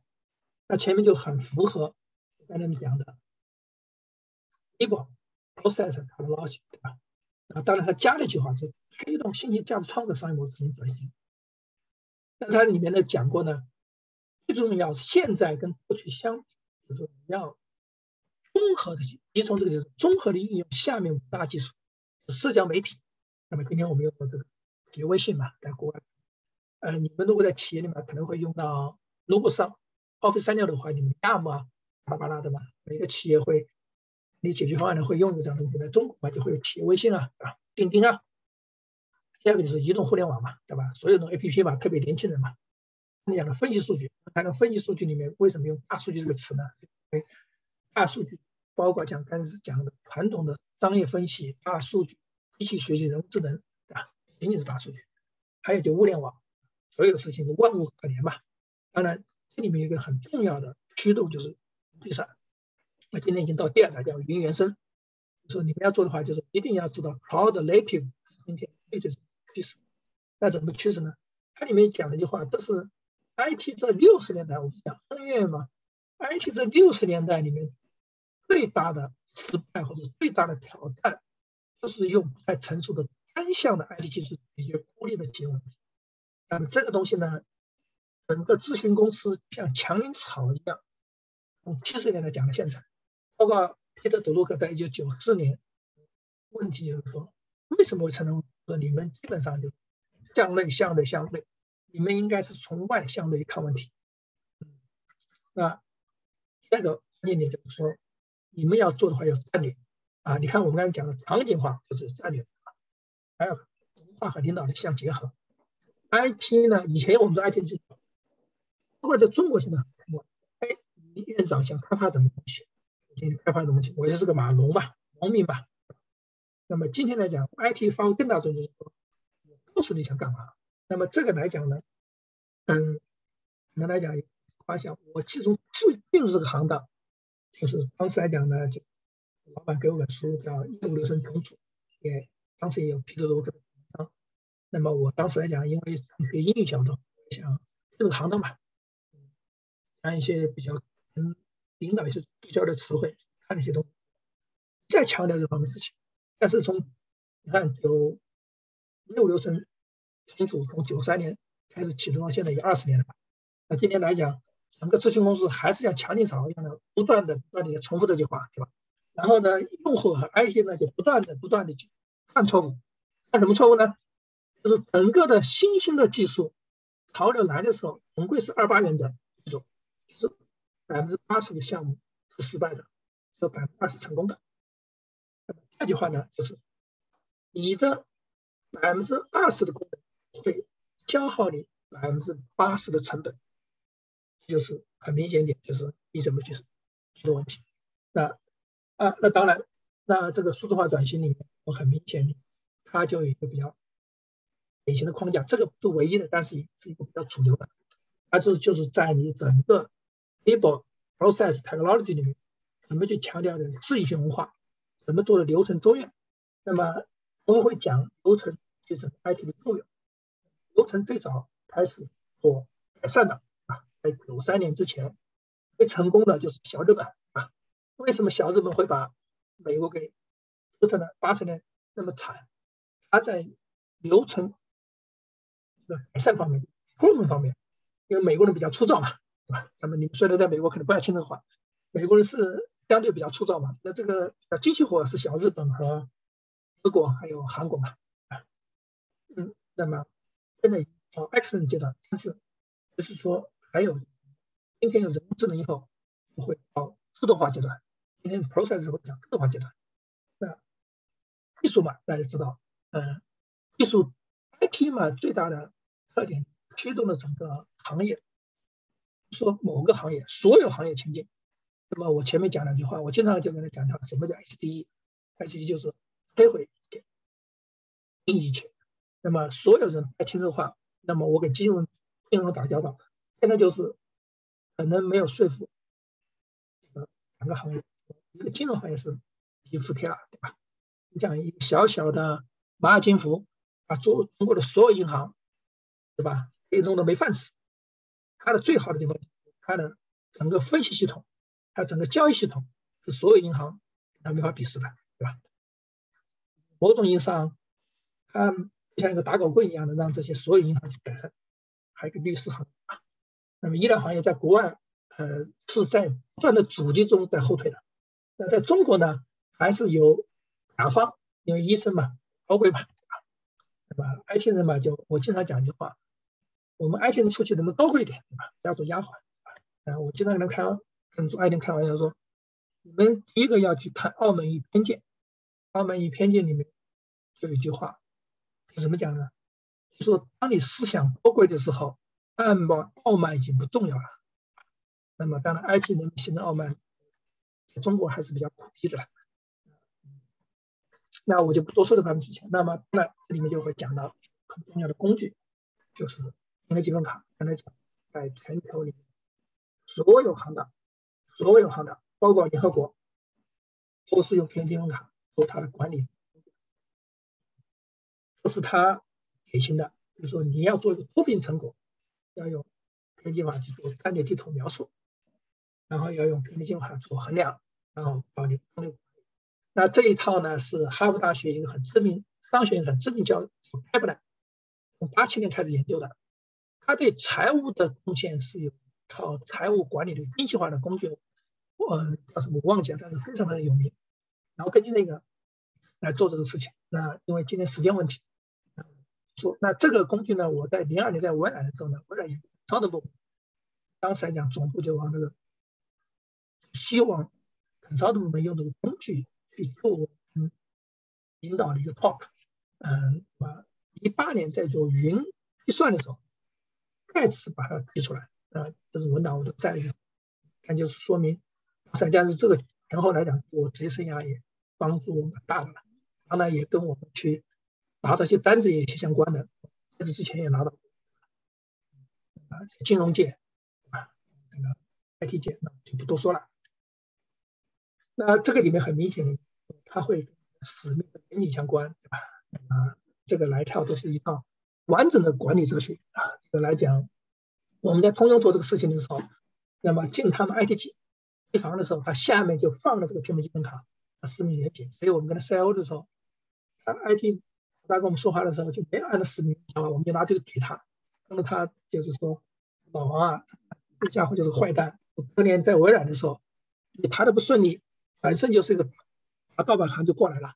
啊，今天奥乐他妈的就是用我们宇宙在打我们，当然是开玩笑了。说明这个这些东西来讲，在跨国公司还是多的。呃，那这这是一个流程，那么这个，呃，还有一个比较更标准的，就是说梅奥，哈佛大学的院长梅奥做了套体系呢，作为 expert 其实还是医疗体系，在网上找找应该找得到的，我应该也存档，看我能不能找到啊。嗯，梅奥是你们美国的标杆吧，那就不多说了。那今天来讲，嗯，就讲了整个我的讲是就希望想首先一点说，我们有 benchmark 啊。我们 benchmark 一定是二十分以上的啊，那今天的没办法，那么我们今天 benchmark 只好看美国了，对吧？不看不行的啊，不要说我天天看技术看美国的，这个没用的。呃，那回到来讲，那我们就讲了 P to T 这个东西了，这个词不好意思，是我用的是为了别太难听了。那还有一点就是说，在整个的 IT 行当里很注重的两点。我刚才讲就是叫 back to the future。那你们在硅谷人，不少人去参参观过那个计算机理论嘛？那这个计算机理论里面，这个去年之前，时不时的就会拿 back to the futures 去作为一个主题。去年的四月份也拿这个做主题了。啊到这是个 back to future 是一个科幻电影，八十年代啊，给你们一起看看。还印象很深的。那个，计算机理论去年，去年跟上海交大高级技术学院搞了一个数字化转型论坛。那么，为了强调观点，我就查一下 Backfish。那么，哎，正好查到美国的计算机理论们在做这个主题的东西，然后我就拿下来就。为什么？就是说，你很多东西从历史看现看到未来，你的角度是一样的，特别是我们在中国的时候。到美国去里面 talk 的时候，因为你不知道历史，他很多可能你不知道。这个就是 back to the basics。刚才没讲，就是说你谈技术的时候，很多技术做的都是很非常识的事情啊。昨天在发生，今天又在发生。我刚才前面讲的那个抗菌药的事情，对吧？那最后来讲，嗯，局长也承认了，哎，我第一次就是说给我们省钱了，为什么呢？因为我们开的是三分之一价钱，他最后用这个厂商的百分之四十九的价钱实现这个系统，为什么呢？因为人家也比较深，没办法啊，就说至少花钱给我，就说大数据分析，就是花了这么多钱给你，好像也虽然每次觉得做的很好，但是推行下去有很多问题，那问题我没办法的，我也不是局长，对吧？那但是呢，有一点就是至少能给我省了很多钱啊，啊，那也是几百万啊，那么。我们就会讲这个是组成。那我讲的六十年的恩怨呢？前面讲的，嗯，六十年代的基本上在九三年之前，整个计算机行当、整个商业应用行当是由技术来驱动。它最大特点就是电子化，那么基本上就成人是隔离开的。为什么呢？大家知道没有 PC 之前。计算机人员都是穿着白大褂，安在待在玻璃房的笼子里，对吧？经常就是开玩笑，就是说我们在笼子里，因为我们从事的行当，当时来讲进机房要换鞋，穿上白大褂一样的，对吧？然后呢，在里面穿上衣服后呢，就感觉到自己有点脱色了，用的是大机器，对吧？突然的语言大家听不懂，跟你讲。简单来讲是以电子化交流，那你整个的组织变化来难的。那么同样的讲，今天来讲讲的比较多。那么他讲的是计算机的素养，就是什么？素养，文化，特别是也不是我们讲的叫素养，还有 readiness 啊、成熟度啊、巴拉巴拉这些词就上来了，包括三位啊，从九三年后就一半的就是说你人重要性。只是一句话，就是说，任何只改变人、改变流程、是改变技术的，会提不效果。或者就是前面讲的，新的技术来的话，如果没有考虑三个东西的话，基本上百分之八十失败了，包括前今年数字转型，麦克斯前段时间的报告，一八年的报告，百分之七十八项目全是失败的啊，七十八跟百分之八是什么区别？那，回过来讲，我们还是讲讲，就是说技术驱动的时代啊，这来讲呢，呃，故事性比较强一点吧，因为今天漫谈嘛，还是讲点故事吧。啊，计算机行当呢，最早呢，大家知道就是 IBM 白雪功能就是 IBM 了，行当在六十年代就呃，这就完全就是白雪工程和七个小矮人，白雪工程我们叫 IBM 了，还有七个小矮人就是 Punch 加上 RC 加上 G，嗯，大家知道你们在 IT 行业看 G 是很有意思的，嗯，那么呃，以前我们讲 G。讲是一个技术的公司的话，我说第一是没有技术的公司的话，肯定很多人不高兴的。就是每一家公司都有自己的 DNA 的，因为自从特斯拉出来以后，你再反过来看，第一这家公司，第一这家公司，某种意义上，爱迪生就是个虚幻的人物，是被基因给捅出来的人，是吧？那么当然，爱迪生的很多发明是很成功了，但是他在电力行当，那某种是摩根是毁掉了特斯拉。成就了爱迪生啊，那么他完全错了。那么第一次就著名，第一在整个很多领域的大方向，从技术原生来讲是成功的。那我看一下，有很多在基因干过的小兄弟啊，我一说到小兄弟在里面肯定会认可的。当然干不了他。那么从计算机角度，第一是 IBM 同时开出的事情，那 Punch 嘛就啊早来啊。那么就我们再回过来讲，中国的计算机第一代是要叫 GS 幺三零，那么它是模仿嗯五十年代初的美国计算机的，一直到改革开放啊，就是窗口了。那么我们在读书的时候，那么第一个。那么用了之后呢，那么老师呢就是讲说，这个机器是模仿五十年代的，那呢我们让你学学什么是世界上目前最先进的。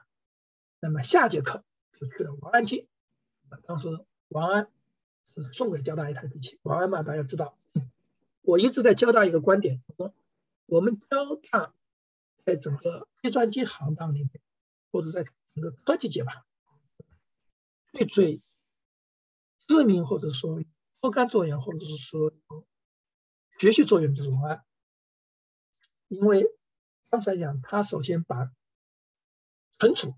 是他发明的，卖给了 IBM。那么文字处理器，我们今天的 Word 啊，它整个的操作头文字处理，对当年在美国的话，Word Processing 叫 Word Processing，叫 Word Processing，就是它的名气响的程度呢。今天可能他已经忘记了啊，它是非常非常成功的。它在一九八六年也是美国第五大富豪了，它也是比尔盖茨这个两大偶像之一啊。那这两个偶像都跟我有关系，一个是交大，我们交大的嘛，所以是交大的，我还是交大校友嘛。第二个就是我以前进家公司叫第一期，八几年叫开奥森。那么，那后来呢，二时期呢就，个交大就买了宝来机，觉得宝来机比王安跑得快。再后来呢就就给他。那么你们看到没有？精英呢是在六十。五十年代进入计算机行业，六十年代末就离开了，搞不动了。那么这是第一第一次啊，后面讲的我有三次。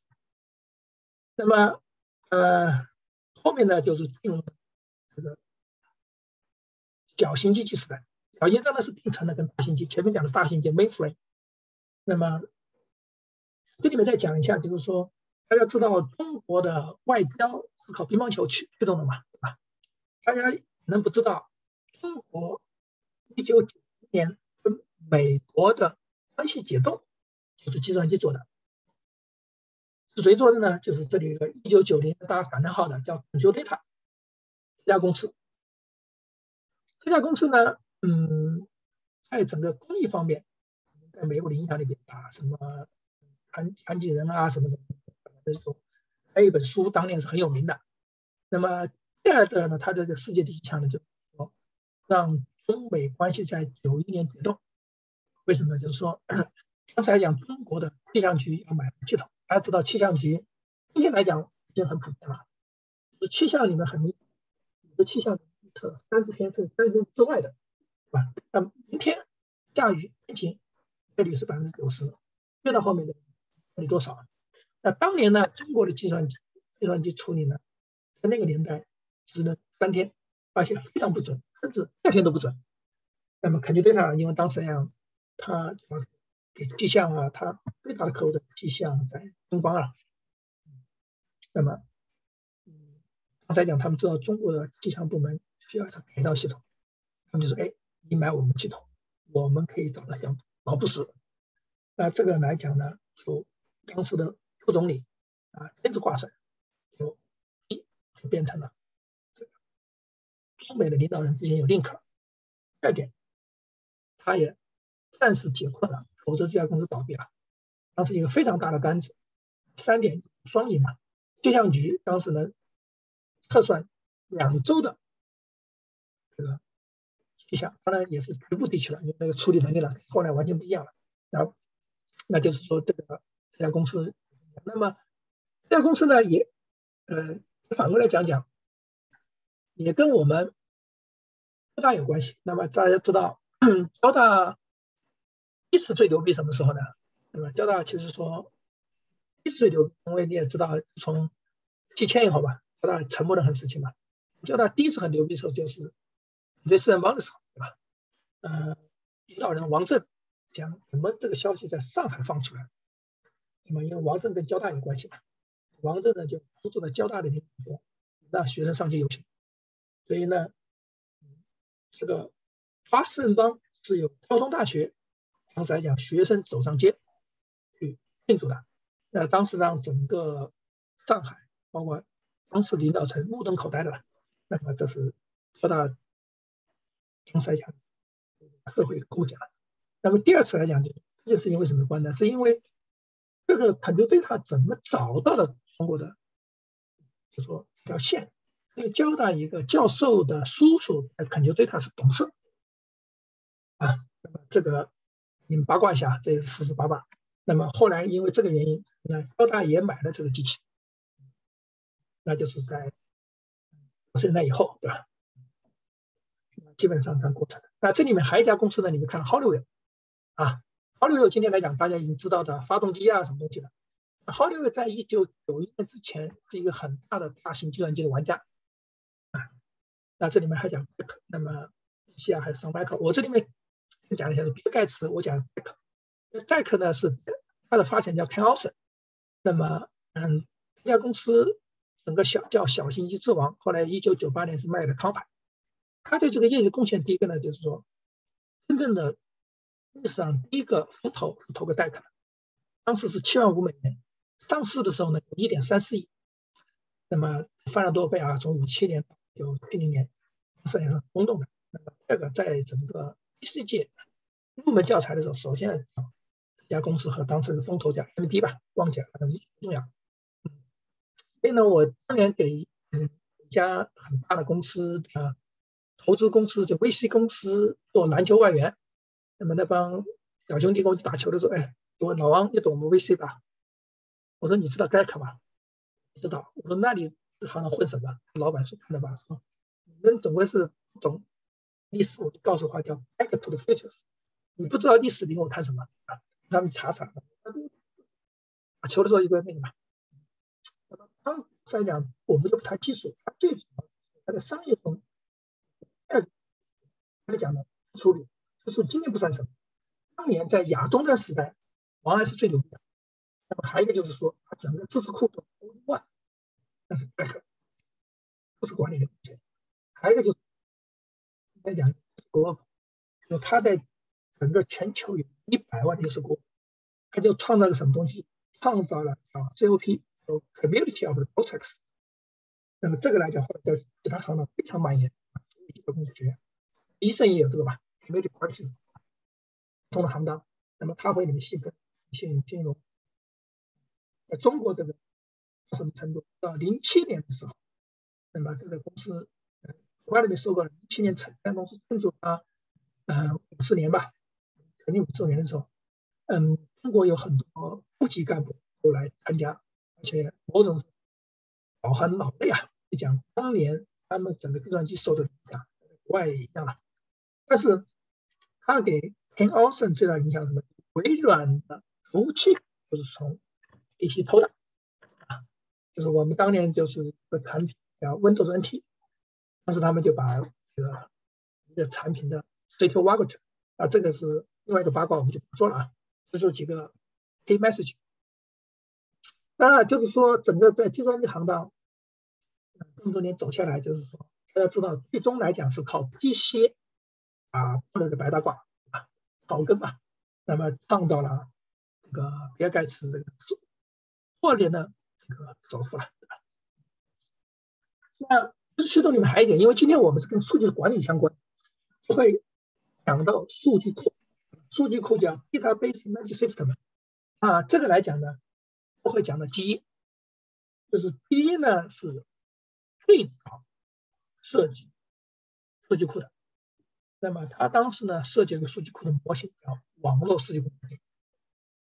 那这个数据库呢基本上九十年代死亡。那我做研究生的时候呢，在给金山石化做项目，他们当时进引进的是日本的大型机，那么数据库呢采用了网状数据库。当时是把我们这帮人搞死了。当时搞死的时候呢，我们就请了校友的银行做的来讲，IBM 的。来了以后说，这个系统太烂了。为什么呢？因为 IBM 就采用的是层次数据模型，网状数据模型呢和层次模型说，层次数据模型是很很 IBM 的模式，上面一个大头，下面几个小头，下面再小头，很符合当初的。管理模式的，特别符合企业管理模式。那网状数据模型呢？说你这上面有 n 个头，那下面有个 子系统呢，要跟上面 n 个头相连，那复杂度就非常高。那这套系统呢，会讲到就是商业系统里面最成功的案例，就是我们今天的系统，就是这个红字的 SABRE，它呢是。这个呢是 IBM 非常感到自豪的，因为 IBM 里面基本上集中在银行。因为 IBM 老板讲的最大的一个笑话就是说，只要 IBM 只要有五台大型机可以处理全世界所有的银行，对吧？这是当时后来变成笑话。那么一些的笑话就是说，老板当时虽然很成功，但是他给业界留下一个笑话，就是说，DC 就是个玩具，对吧？那么也变成业界一个笑话。那么当然，最恨无奈的还是 IBM 因为 IBM 什么意思呢？就是 IBM A Microsoft 啊，业界笑话，因为他把微软把 IBM 给弄开。但是不管怎么讲，IBM 对计算机工业的贡献，包括对管理的贡献，超级大的啊。那第一第一个呢，今天是用亚洲人做的。今天在中国订票系统的话，进去以后那，Windows 系统以后，这订票系统就变成说终端了，这套系统。嗯，它是这个呢，也是我当做营销人跟这个技术人做嘴的一个方面，就是啊，技术就是骗人，对吧？但是整个业界的第一个应用就是 IBM 销售在飞机上，在五三年跟美国航空公司的管理人员坐到隔壁位置 talk 起来，那么 talk 起后呢，哎，觉得。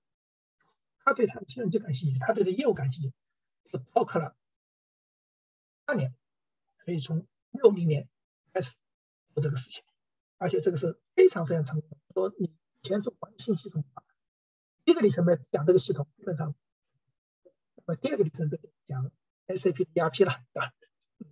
那么就今天就展开了。那那这套系统呢，IBM 现在还在大型机里用，那么已经很厉害了。那么但是来讲，因为 IBM 真的体量嘛，所以系统还是比较厉害的吧。那第三个呢，就是今天我你们所有人在，那么在二零二年前关系一个数据库，那现在的数据模型有很多了，网上查查什么面试啊、网 C 口啊，那么你们可能医生听了之后，可以都要听晕过去了。你们记住。这个一九七零关系数据库是有 IBM 的这个质感高的，那么它发明这个数据库一个标志性的，对吧？后面的影响很大。对所有人今天来讲，不懂计算机，都会谈数据库有多大啊？怎么放在里面？那么最大的，呃，这个最大贡献已经，他拿的图灵。那么，但是呢，很悲催的地方呢，什么？这呢是说，虽然 IBM 发明了关系型数据库，但是呢，率先利用的是 Oracle，而不是 IBM，这说明一个大公司啊，它的这个怎么把它的研究到落地？那么这点第二个悲催的就是 AT&T 啊啊，AT&T 的贝尔实验室开发多少都是好东西，对吧？包括今天的 Unix，对吧？包括中间件啊，巴拉巴拉很多。那么大家看到 G 啊啊，这里还讲讲，G 也是最早进入 PC 的行业。当年 G 和 AT&T 这两家公司会说，你们买 PC 除了 IBM 外，都应该考虑第一。都应该考虑 AT&T 怎么的，大家就知道我的品牌嘛，对吧？但是这两家公司基本上没做都没有超没有超过十年，基本上就 disappear 掉了，在 P 行的，就是就是第一刚才讲的第一的第一顿就是大型机加上它的关系数据库，这个率先走向死亡。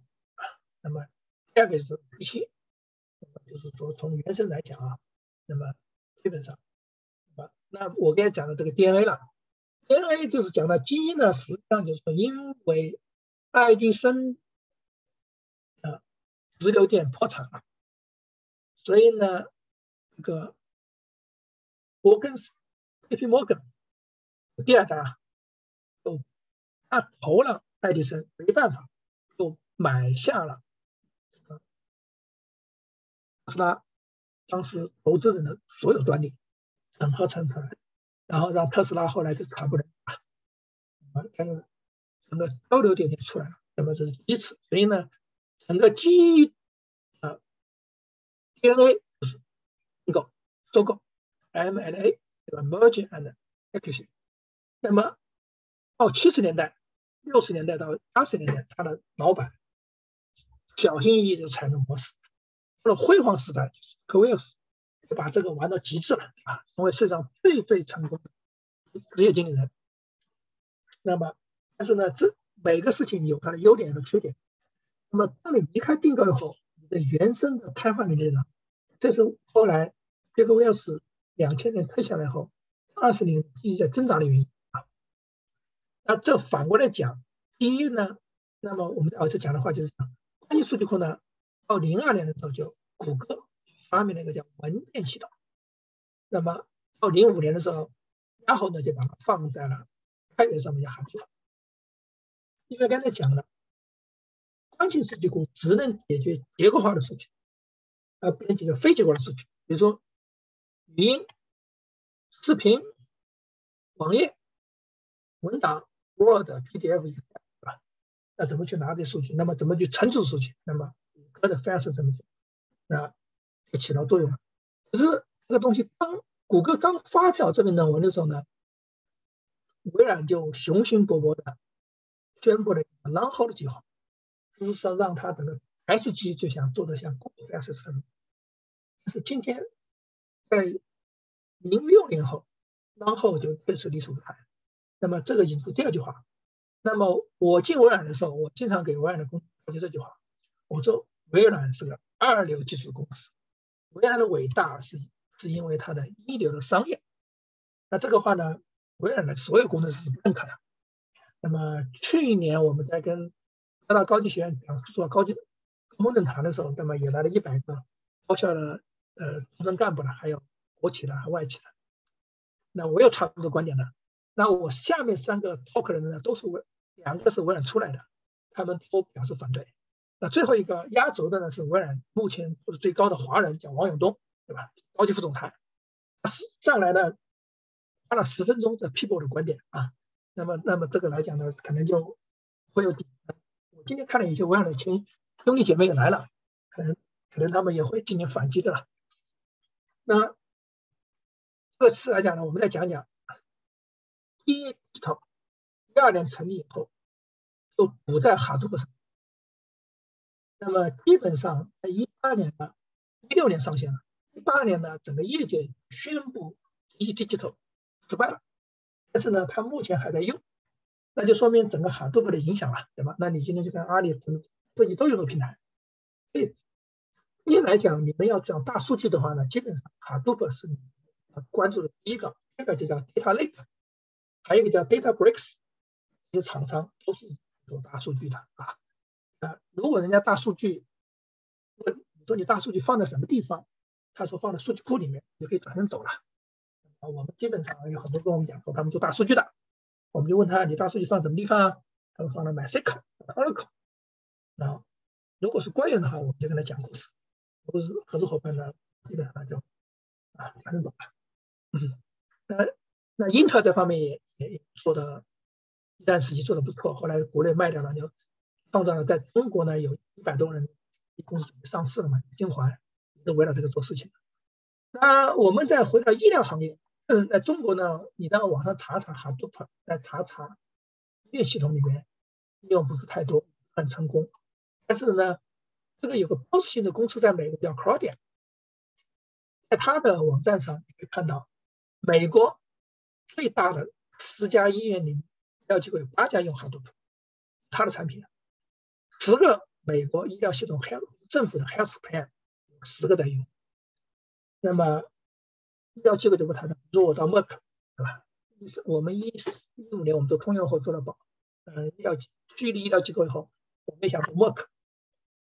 嗯，他说他们放在这个 AWS 云上面，我们一起做的事情。那么后来我们没有做，说明今天来讲，可能来讲，希望今天后呢，就是我们就讲的话，就是说你们会告诉我新的大数据平台。而不是数据库，特别是关心啊。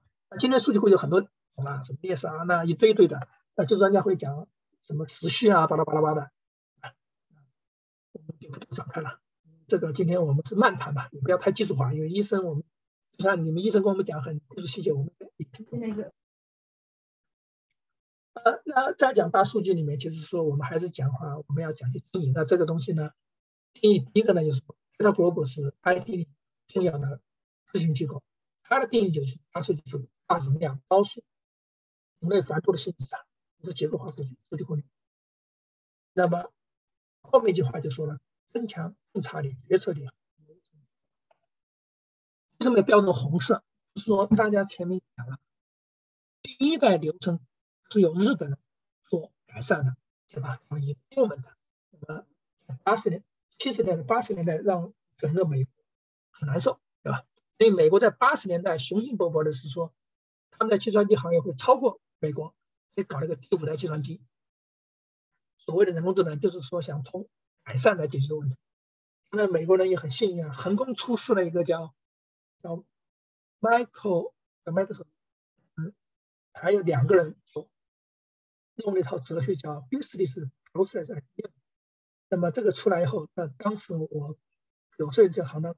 老板看这个书，跟我我就念了一本，他是英文的嘛，那他是台湾人，那么当时来讲了解的，那么后来这个词呢，就也促使了 SAP 高速发展。SAP 高速发展是靠两点的，第一点靠业务流程统筹，SAP 初期做的那么后来到了刚讲流程卓越啊，那今天来讲大数据是做的事情就。流程就是你通过分析，分析结果到了机器学习，机器学习以后去做指令啊啊，这是第一点。第二个呢，我们来 Wiki 查查呢，很明显，我们开始讲的数据库是 mass data，仅仅只有一个，它没有多样性。开始讲多样性，比如说像网页就是结果，那么像文本、视频巴拉巴拉的音频就是这个多样性。你给一个画像，好这些所有东西啊，速度，数据库是很难，几乎做不到实时的，它只能做到在线的。那么分析呢，会到什么程度呢？你用数据库做分析的话，下班前把模型做完，让它一敲键，你等着来看结果。那你比如说像现在疫情。有很多，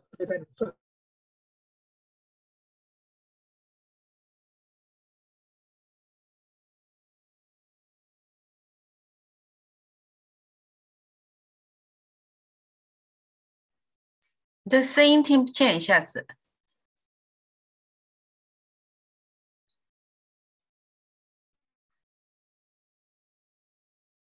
他是不是断线了？我都断线了，不好意思。啊，没事没事。有了有了。不好意思不好意思啊，我刚才看到还在转。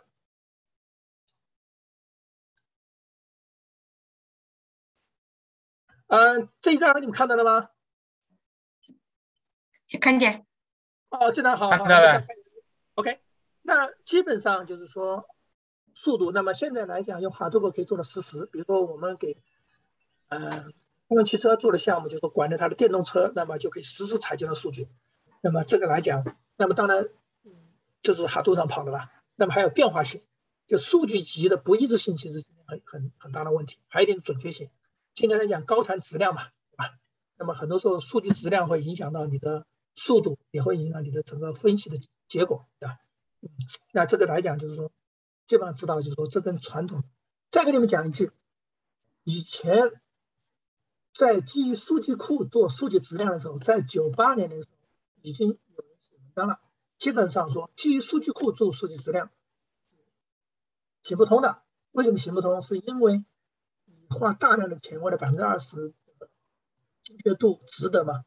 基本上就停下来了。那么到了大数据出来后，基于大数据做事数据分析，现在重新起来谈治理来讲，就比以前改善多了。就像人工智能分在不同阶段一样啊。那我这从五十年代开始做的，到现在是第四个阶段，那么现在更火，就是说一点基脱离了以前很多原有的模式。那我们今天不展开。哎，我怎么对不起，我翻页了。OK OK，那这里来讲就是说，计算机里面还有一点就是说，做计算机里面有个很大的挑战，什么地方？就是说，你的信息处理的模式跟你的管理模式要匹配的。就你当你采用的模式跟你的管理不匹配的话，基本上是失败的。你比如说像银行里面，IBM 为什么成功？它就是用集权的方式，对吧？那以前是无政府的方式。那么今天我们可以讲一下，在医院里面，我不知道国外啊，在国内很多医院里面会有独立的三十多个系统，就是格局型的。那么这各个系统是打不通的。那我们当时用大数据是可以打通的，但是为什么最后没走下去？就是还是这个问题，钱钱钱，就是愿意投多少钱的问题，对吧？那么这个最好的方式就是大家知道是联邦方式嘛，我们每个有自己处理方式，但是根据一定的规则，我们可以拿到这些数据。那么这是互联网最典型的方式嘛，对吧？那么今天来讲，为什么嗯蚂蚁金服会把所有的四大银行打到这个咬牙切齿，这个很有关系。那么这个也跟整个计算机的六十年历史是相匹配的。但是你今天来讲，如果说那个互联网环境是用在一个企业统一一个集权方式的话，在企业里，那你总会觉得这个系统不是很舒服啊。那刚才前面讲的就是 IT 驱动方式，那我们讲流程驱动方式，其实我也讲了，就是 BTR 啊，我们讲一下，讲一下，就是说你的 IT 如果是支持原有的成就方式的话，那这个拜是啊。那前面讲的我也不多讲了，还有一点就是资源的驱动。那人力资源驱动呢，其实在国外呢是从零四年开始的。那零四年呢，那之前也就准备了，就是说九八年的学习组织嘛，MIT 教授推出来的嘛，对吧？然后，嗯，在整个九八年同时产生的知识性管理，那么在大数据比较流行嘛，啊，那么今天来讲，就是人人要在行业一个企业里面，你要人人成为数据科学家，那么你医生愿不愿意做这个？知道，我觉得现在是愿意的。那我们再讲一下我们在通用比较成功。我们在通用比较成功，就它的设计部、它的质量管理部门比 IT 部更愿意大数据平台去做分析啊。那么首先它会用自己的管理工具，说第三方的自己管理我们就这样吧，对吧？那么第三方管理工具把大学一起来做事情，然后再在我们一起来跑。那这个来讲就相对来讲强。那在医院这里，有多少医生愿意做这个事情啊？或者医院的管理部门？那在中国肯定是个问号，因为是锚点，对吧？那么这个里面讲了，那么这个你把人看成一个 capital 数据也是个资产。那 capital 就会有问题，是贬值还是保值增值？那么，所以说，比尔盖茨还有伟大地方，就是在零九年，在美国要把计算机作为第三门语言啊，这是比尔盖茨我计算机最后一次。那么第一次，那么第一语言就是母语嘛，第二语言美国人学第二外语，中国人学英，第三个学计算机。那当然，今天谷歌这方面就比尔盖茨更好一点，开开发那个 Python 啊，是一六年更用这东西。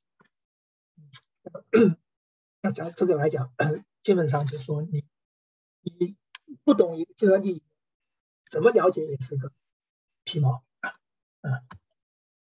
那总来讲是讲了，就是说我们现在驱动的话，就是说这几点基础设施，还有刚才讲的五大点都说了。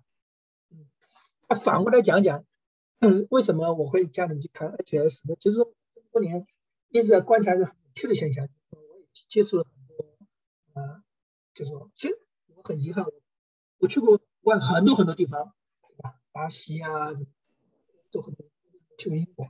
那美国跑的更多了，在一家公司里面，一个上市小公司，每三个月到硅谷开九天会，那开会加上两边的代理啊，嗯，就基本上去了巴西啊，啊，北美啊，太阳州啊，还有考，啊，你们肯定去过，那但是没去过英国，但是整个来讲呢，接触很多从英国到中国来做生意，业务员。那么，首先来讲，就是说，他英国后来因为很长时间忘记了英国，那么第一次英国对我们来的帮助是什么？说 我们在微软的时候，微软跟艾森哲一起帮助，在一九九八年帮助中国政府做了一套 One Stop Service Portal，就是你上网可以解决所有的问题。那么这是英国。当时我们在微软最感受，对信息技术在整个政府当时的首相布莱尔到联合国宣传，而且呢，当时得到极大的反响。那么这个反响呢，间接的原因，就是说中国有很多领导、地方的领导人都到了，因为英国是一个六千万人啊，在中国就像一个省嘛。有很多 人都去 去去去学习过，那么反过来讲，先去了解，那么后来跟很多英国人打交道，英国人就经常开玩笑，啊，我们当然了，最早跟英国打交道是，呃，在外交学院进修的时候，那我们一个老师是英国人，他就经常讲。那么，当然是外交学院学法语的，哎，我们帮助啊。说他的英国的傲慢，这个诙谐，因为 James 要记住，我看你对美国感兴趣，程度讲美国事情，记住一点，他说我们英国人是叫美国去实践，观察一下啊。OK，那我们回过来，在计算机行业吧，对吧？那么今天也知道，计算机之父就是英国人，图灵吧？电影啊，人工智能这么火，也是他发明的，对吧？这个第一次贡献，那第二次贡献就是三 W 啊，那么也是之父，也是英国人了。那英国呢，在政府行当里面呢，那么他就是最早注意到政府部门之间的信息打。他们解决问题是套一个叫 ITO 这样一个管理工具，从八五年，那今天来讲呢，这个成为世界上最典型的规范。你说计算机的运用，ITO 有边缘化。那么还有一点就是大家讲的这个今天的 CPU ARM 对吧？包括今天开源 RISC，那 ARM 今天对这个管理，大家知道 Intel 嘛？那今天的 ARM 呢，这个对世界的影响我们就不多说了，它也是英国公司，那也是说这个以前英特尔比较成功，叫，Cisco 芯片，那就是有精简，英特尔复杂，你知道这区别，细节不谈。那么，我们会讲的就是说，NHS 为什么？我们其实 NHS 家庭医生，中国的家庭医生就是要学英国的 NHS，正在路上 on the way 啊，所以是当初我们这个项目想做的事情。所以呢，那你们了解了的话，看过二零一二奥运会吗？二零奥运会有十二分钟，英国人就接受 NHS，因为 NHS 认为。他一九四八四八年建立的医保框架，让全世界都在学。除了美国，奥巴马，哎，这种长的东西是从学的吧？啊，那这个就当然他一八年是两个片子相关。那么我们在微软中呢，基本上呢，包括艾森，那么基本上呢讲医院系统，当时来。基本上就安全 best practice 去跟医院系统去讲，所以它整个的体制和的应用啊讲了很多。那么还有一点就是说，那么我们知道这个管理大师叫皮特多，他也是美国人嘛，但是大家知道管理是需要哲学的，管理哲学公认的大师就是英国讲财。他对中，他对这个整个劳动影响在哪里？他的影响原来流行，包括你在家办公，都跟他当时讲的，说你人的生存的工作的价值，或者为什么为什么会产生原来他当时做的很多诠释。那当然，这个这个人中国，也是跟老外聊天的时候。那么其他的了解的话呢，那我们就认为英国人，我们也是讲了，就说你们英国人对世界最重要的资产，大概好像是嘛，对吧？因为开始，那么让所有的国家政府，所以今在上个世纪，你的声音断断续续。啊，那可能是我。感谢哈，嗯嗯，就是说，那么凯恩斯，那么就不谈了嘛。那嗯，等会还会提一下，就是说，那么当然还有就是说，你在整个嗯管理行当里面时候，很多的时候会看到这个《爱丽丝漫游记》啊，《奇迹漫游记》对吧？还有他的呃两个小说。然后呢，你在整个计算机的很多书里面，包括微软也这种 IT 书里面，基本上会有两个梗，一个就是很多他的那种。就是以前的这种科幻电影了，还有一个就是他的这三部小说啊，那今天就不不讲了。三部小说，《指环王》啊，《纳尼漫游记》《哈利波特》都是一。那么这个就是讲他的贡献就这么多。那最后我我再讲一下我的经这个从业经验啊。那么我在九四年的时候呢，我参加过 UNDP 在中国的第一个中小企业服务平台。当时在一个海滨城市做的，那当时也看起来比较成功了。那同时呢，当时同期呢，我就知道了马云这个名字，因为当时外经委对这个项目有支持。那阿里巴巴马云呢，当时拿了一千万做黄页，那这是我第一次了解马云。那么，那么基本上我进了行当的时候，就基本上呢，因为公司的培训就是，因为代课的培训就是一点，就是说，你们要给用户带来不仅仅是技术。价值最主要是业务价值啊。那么当时来讲呢，还有一个最典型的笑话，因为我这个人呢是比较相信 professional。为什么不比较相信 professional？因为跟自己的经历有关。因为我以前在中学的时候，篮球是四少级的。那么在四少级呢，回到中学里面呢，因为你不可能都四少级的嘛，那么就会有一些打接球的人在里面，对吧？那么。那么在关键比赛的时候呢，因为你要知道，当你碰到不强的队的时候呢，你可能那些专业的打法、什么配合啊，什么东西起作用的，对吧？因为最终是把球投进篮嘛。那么到了关键的时候呢，这个就起作用了。那么，嗯，所以呢，我就比较相信 professional。那么在中国呢，就会有现象，就是说我当时进公司的时候，在营销培训的时候，那我就考了第二名。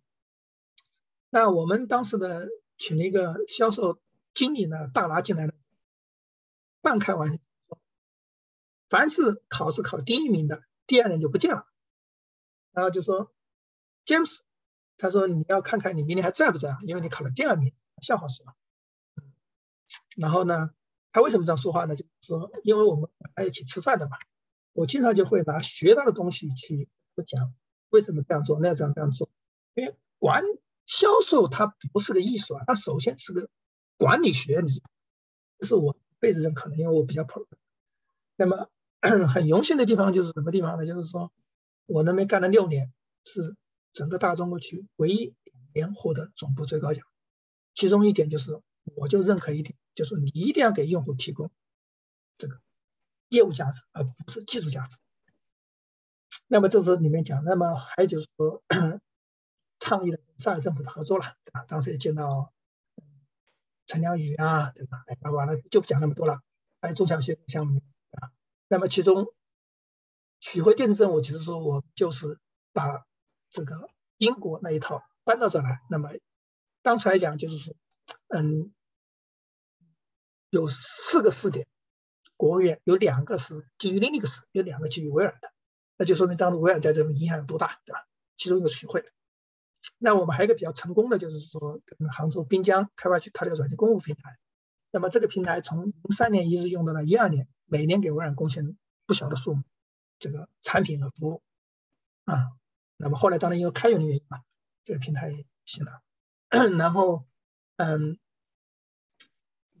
后来因为这里面有两个故事，就是二零零一年呢，我们跟上海签了战略合作以后呢，同时呢，北京呢就把微软给踢出去了。所以呢，当时我被调到北京后呢，就负责全国政府后呢，所有人跟我，因为我北京这个人还是搞运动嘛，比较交朋友嘛，人家去了后，人家说，哎，你上海人到这里来，记住三点：第一个，北京人讨厌上海人。我说我不是上海人，我是武汉人，是吧？那他说你实际上是上海人了，因为我十七岁到上海嘛。这么多年了，他说：“你第二，这里水很深的，我告诉你做什么？其中一点就是不要配碰北京政府。那么我说第一个，我说呢，我这个人呢比较 stupid，你不要告诉我所有的信息关于啊，我说我没兴趣听。第二个，我说呢，这个上海呢有一点也跟你们医生有关的。我说北京人看病，第一个在北京看，第二个就在上海看。”我说呢，我呢就是个医生啊，你把我看成医生，所以我听你们讲什么，我要自己观察。嗯，第一次我冒充医生啊。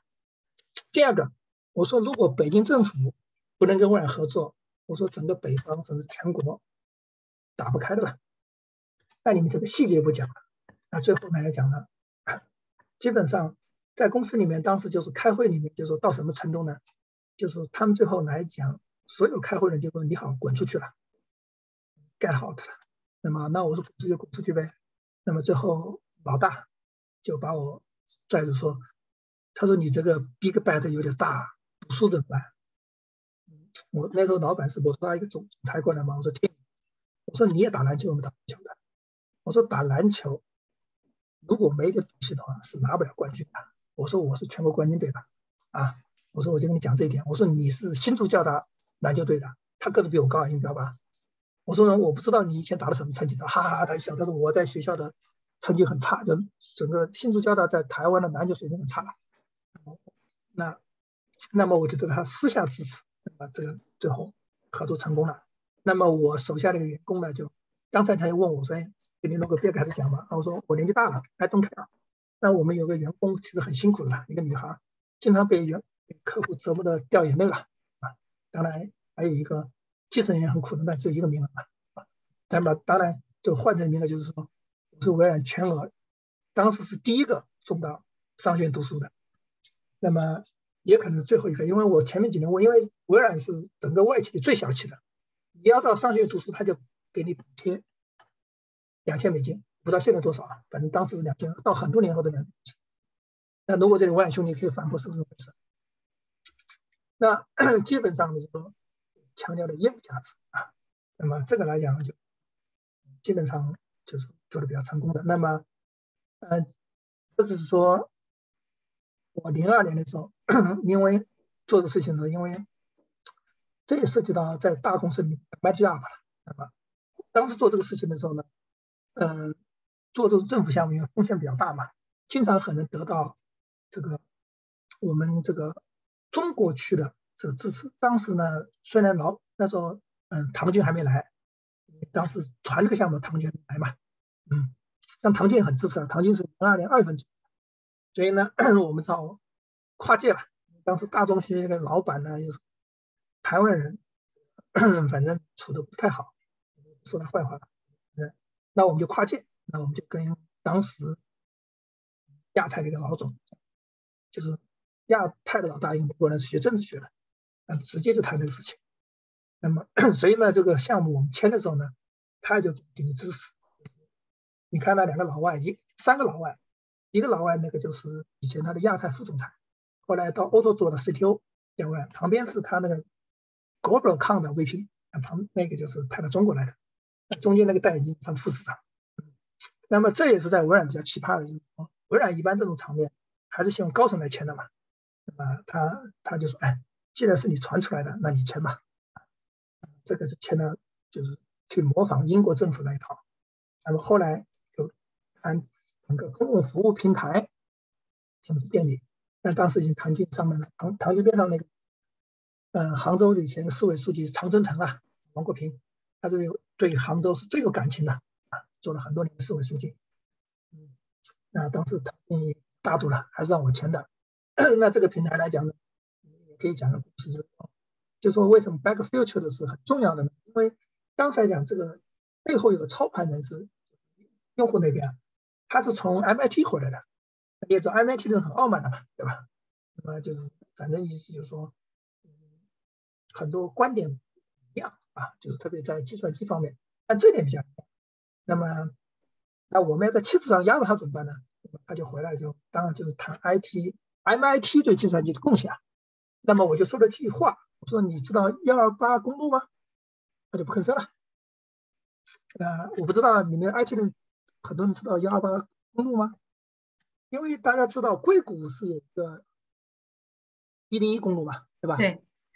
那么一零公路就是表示，但是你要知道，在整个八十年代以前，整个计算机工业是在它 MI 就是在波士顿边上一个一二八号公路沿线上，所以在整个 PC 之前，整个计算机工业是在东部的，就是在幺二八公上面 IBM。王安，刚才我前面讲的那个什么七个小矮人、机翼，那么包括 DEC，对吧？那么我这个话一说嘛，那么旁边都听不懂的呀，都年轻人嘛，那他一听就不吭声了。我为什么讲呢？是因为微软在西边代表了主流嘛，就是 back future 的好处了，大家哈哈一笑。很多人说你这有什么梗？啊，有些梗不能点穿了，现在点穿无所谓的嘛，来点穿了人家甲方的面子没？就是说明你了解计算机是，表示什么时候已经处于衰退，什么时候主流，啊？那当 MIT 前两年说他们在整个新兴工业上面恢复到幺二八了，呃，一五年、一六年单位，那就不说了。那么基本上，那嗯，这张照片呢也是 我比较好，就是说我当时来讲说，因为呃我们虽然我在进外。搞了技术，主要是做前沿的预言。那么进这行当里嘛，跟技术人员嘛，总归是个按照以前说法，就是英特尔说法叫建设性冲突啊。呃，在微软这个第一系和英特尔以前建设性冲突，呃，呃，印度阿三做 CEO 之前是发挥到极致的，到最后大家不想打。但这个这个文化有好处，创新有产品，但是也有问题，会有些问题。那这个东西。现在有些公司在不断的用出来，那我我这一生里，我跟工程师之间就是产生建设性冲突。就我经常说，往 A 走对，他们往 B 走对，喜欢多嘴。当然，这些工程师后来都没有了啊，因为这个是头脑风暴嘛。那我后来我在一个上市小公司做的时候呢，我们在中国做外包公司，刚才讲的都做外包嘛，但是谷歌当时进中国，想做它外包，那么他当时国谷歌也叫谷歌。develop service 就是搞一些大赛，让我们部门哎去做。那么当才做的话嘛，找方向。那么当时来讲，谷歌当时最有名是搜索嘛，那么有些工程师 PM 就是做搜索，那么有的时候我们做手机，对吧？做手机上搜索，因为当初这个手机是最热的嘛，但是要做在塞班上面，因为零八年的时候是大家你还知道塞班嘛，就诺基亚那个手机，就是因为苹果出来把它给干掉了。那么以前是最流行的就是两个智能手机系统，一个是微软的 Windows Mobile，一个就是诺基亚的叫塞班啊，他们是他们去开发的谷歌的搜索。然后呢，我说谷歌呢现在看一下呢最牛的是地图，我们应该把地图跟电信结合在一起，我们试一下。那我们就找了三个方向，三个方向呢，我们这个方向呢最后得了一等奖。当去讲的时候，因为工程师说。他们按照我的想法去做 POC 的，按照我的讲，按照节目上，这些想法是你的，你讲讲吧。然后我们就两个一等奖，这是我，虽然我一直经常跟搞销售说，我说我是搞，我跟工程师讲我是搞技术的，他们都是白眼的，就是啊，这这个是这张照片是要证明当时上面。那这张照片呢，就是说也对吧？那么可能很多人不认识他了。那么这个是全球的期货之父，叫梅勒美德。啊，中国人要见他的时候呢，基本上要好二十万。那么，那么我也是通过这个行当，刚才讲的嘛，打入金融行当是很不容易的，对吧？因为金融行当觉得 IT 是骗的钱嘛。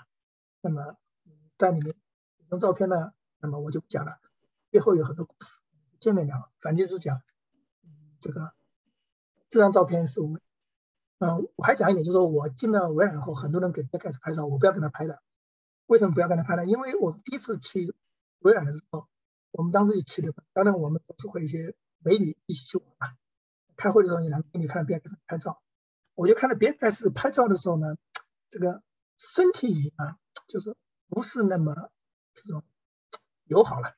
然后等我的男同志去跟他拍照的时候呢，觉得这个牌子行为更强一点，那个脸啊更英俊一点。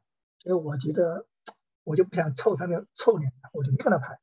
当然，你不跟别人拍照，你说我没有，我不愿意跟他拍，那别人觉得你当笑话在说嘛。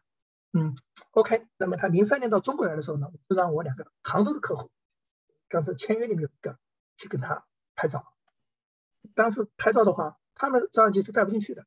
当然，在一个公司里面，还是要一些平时要积累慢的，就相机带进去拍了。啊，他们基本上呢，很多年，他们基本上说，哎，你跟别盖茨，我说到这个。某某地方那个展厅里面就有他们照片，问这个照片谁拍的？我跟他说，在节目上拍的。我说够了吧？啊，当然这个其实也就是一个八卦了。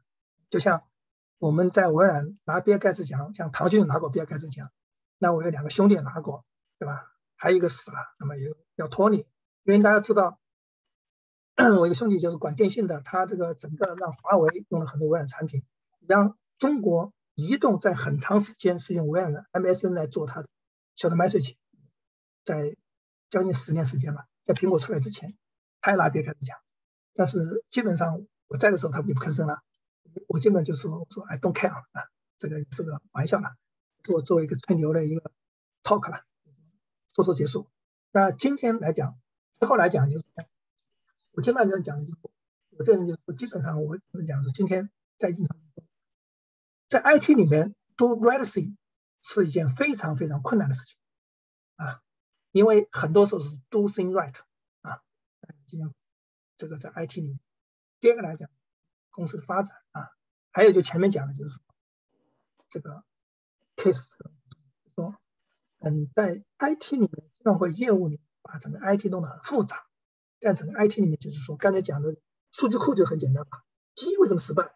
它就一开始用的很复杂系统。IBM 为什么成功？是因为用的很简单系统，包括关系数据库更容易设计，对吧？这图灵讲，所以叫 case 啊。那最后最后一句话我已经说了，那我就不说了。那今天因为是漫谈嘛，那我今天的介绍环节基本上就到此结束了。那看看 Cindy，看看我们下面进入这个后面胶片是实际上是做些背景的，不说了。那看看我们。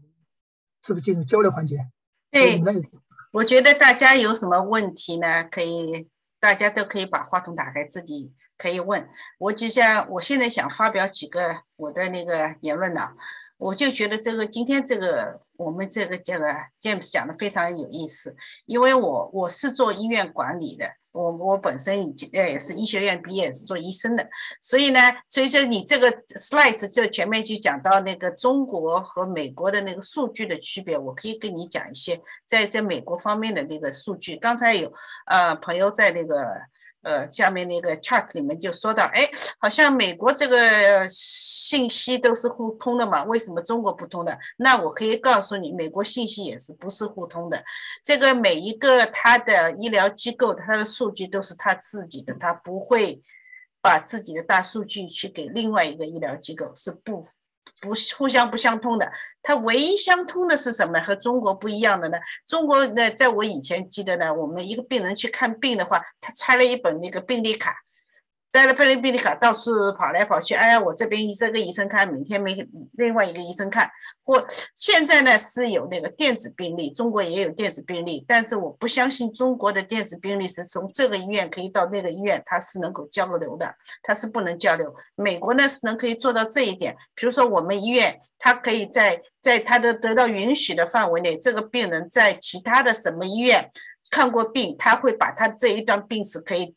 加到我们的这个医院的病史里面，它可以全部看到，但是仅此而已。它并不是说那个大数据很多的地方，就是一个个例啊，或者每一个病啊，他一个什么地方去看过病，当时医生给他诊断怎么说，当时医生的那个 notes 会到我们的医院里面，只是能够做到这一点。他其他的数据也并不是说直接都是可以。自己在互相算来算去，比如说我在我们医院里做事，我们的系统，我想去算算，哎，他们医院这系统有什么东西？那是他自己的医院里的内部的内部信息，他是不传播的，这是第一个。另外呢，假如就是说关于病人的信息的话呢，也是有一种呢，就是说呢，这个美国呢，就是说你要学医的话，你就知道在医院里做事，就知道这个有一个事情呢很重要，叫 hipa。HIPAA 是美国一个法律，美国有法律呢，就是病人的隐私，所以呢，他对这个所有的病例数据都是有病人的隐私的。从这个隐私的方面来讲，他是不能到外面去告诉让人人家知道的。所以呢，这也是一个美国的法律这上面的说的。所以呢，这是呃，我想呢讲第二件事。第三呢，我就想了，这个数据呢，大数据呢，就是非常有用。比如说我们医院美国嘛，我们现在用的什么数据呢？我们用的什么？系统呢，其实还是用 IBM，用 IBM 还是用的，比如说我们的那个，它这个现在很多的医院里面的数据库，这个 database 的 Cardi database，它是用那个 Epic system，用那个 Epic system。然后呢，你把这个数据弄下来以后呢，但是呢，其实有很多的数据，刚才就说了，比如说我可以给你举例子，就像，嗯，比如说现在外面要开一个咖啡馆。在这个人去开发咖啡和 Starbucks 这边要设立一个 Starbucks 店，他要开这个，他一定要知道，哎，我这边有多少客户啊？他会喜欢我买我 Starbucks 咖啡吧？对不对？他喜欢买哪一种咖啡？那你要做一个社会调查，那这边有什么人？他喜欢吃什么东西？就像你开一个餐馆一样。那这开医院做诊所呢，也是同样的道理。他就是会在看我这边这个病人，他大多数人是看什么病的？他们最多最多是发生什么病人？那我这个诊所应该开在什么地方可以满足病人的要求？我可以很多的病人来，明白我的意思啊？这是第一个。还有呢，比如说医院里呢用用很多的大数据，他用大数据呢来管理这个医院。比如他用这个大数据可以计算出来我的病人什么是。哪一种病人看了特别多？他有 chronic disease、chronic condition，那这种病人我需要很多的医生啊去看这个病，那我是不是可以用一种办法把这些人放在一起啊，解决他们的问题？用这些数，用这个数据来，就是说我有多少医生，我需要多少医生、多少护士来解决这个问题。比如说，再说 hospital，病人进来了，那他有这个，嗯，这个不同的 units。它不同的 units 有多少床位？那你怎样利用你的床位比会比较合理？而且就是说，你的员工他要付他多少大的工资？他这个大的工资的话，这些人怎样 reduce 他的 overtime？都是用大数据来说话，我就想非常有意思的。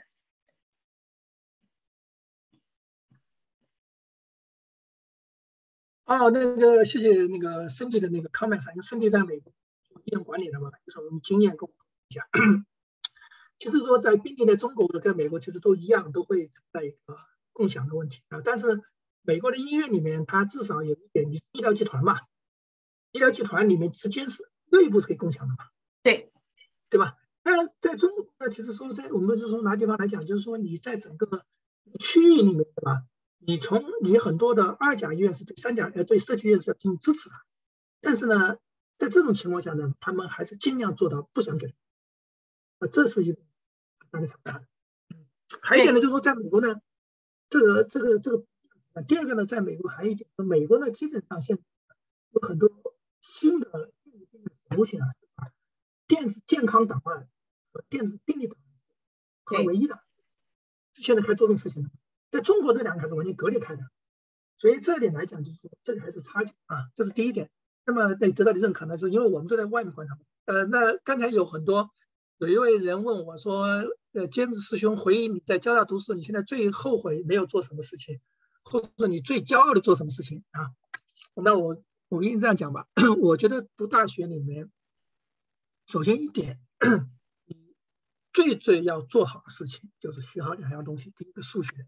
第二个外语，其他的都是没用的啊，因为你不知道你以后干嘛的啊，这是第一点。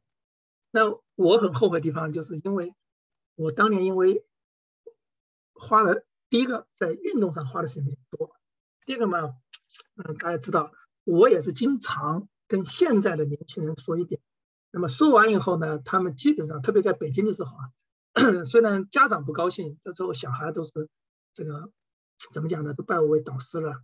我就说你在大学里一定要去，这是你人生一个体验啊。这个来讲，这是第二点。第三点就是说你要兴趣广泛一点，说看看电影啊，跳跳舞啊，搞搞运动啊，对吧？因为大学里面是最悠哉的时候了。那么我最骄傲的地方就是说。我在交大里面最骄傲的地方是，我是交大篮球队唯一的外地人。然后呢，也是个子最矮的人。交大当时最高的一米九三，我是一米八。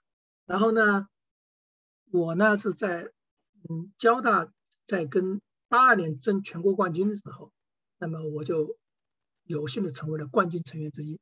而且呢，当时来讲投了七个三分球进了五个，那么应该当年的新闻晚报是有。所以我们交大。在在很长时间是赢不了清华的，但那场球我们清华了两分，嗯，当然这是我最最骄傲的地方。那么后来我们基本上在四年里面，全国比赛拿过一次全国冠军，一次第四名，两次第二名。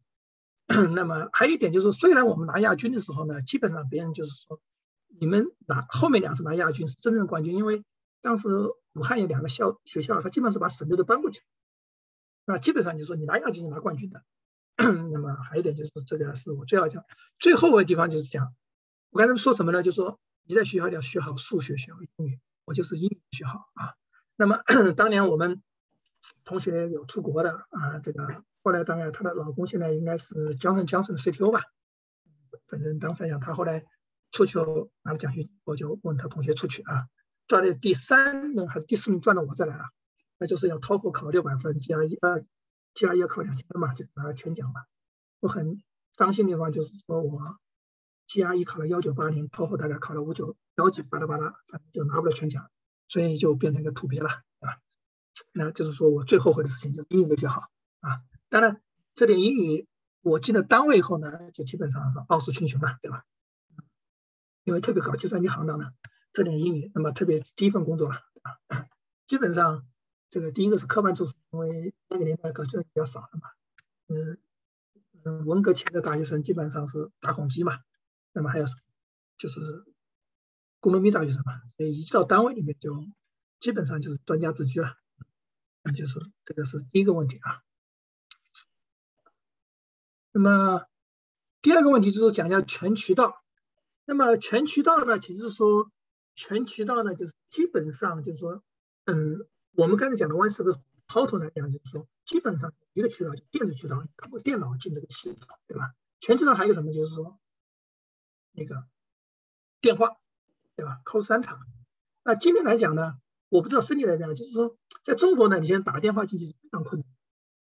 我不知道美国什么情况啊。我可以跟你讲很多 call center 的事情，你先讲。啊，我讲完。那么 call center 还有一个就是 OTC，OTC 就是柜台服务，对吧？啊，柜台服务业，那么这也是一个渠道。那么还有就是像今天的微信啊，这些渠道还包括你 short message 短信，这些都是全渠道。那最最重点的其实就三个，就是你的所有的手机上或者你电脑上去的和你的 OTC 和电话。啊，中国现在来讲呢，打电话是非常的困难的。啊啊，这个来讲全球道是这样。那这个东西呢，应该从你得到的信息应该都是一样的才行。那身体，你因为你在美国，应该可以更多的介绍打电话的一些故事吧？哎，身体，嗯，我来讲讲啊，这个 call center 的事情。我可以讲，就刚才有那个校友来说，是能不能以后我可以大家讲讲美国医院管理的数据的事情？我可以整理一下，找个机会跟大家讲讲。那我讲讲 costing 的事情。其实呢，我在医院里做呢，前几年呢，我有五年的时间呢，是负责我们北加州这个我们这个医院的系统。北加州有五十个 medical center，下面大概。嗯，我想想看，有六七十个诊所吧，clinics。那么我就是负责北加州所有的 primary care 的 call center，呃，我就专门负责这个事情的。但是那时候后来我觉得太无聊了，那个事情不想干。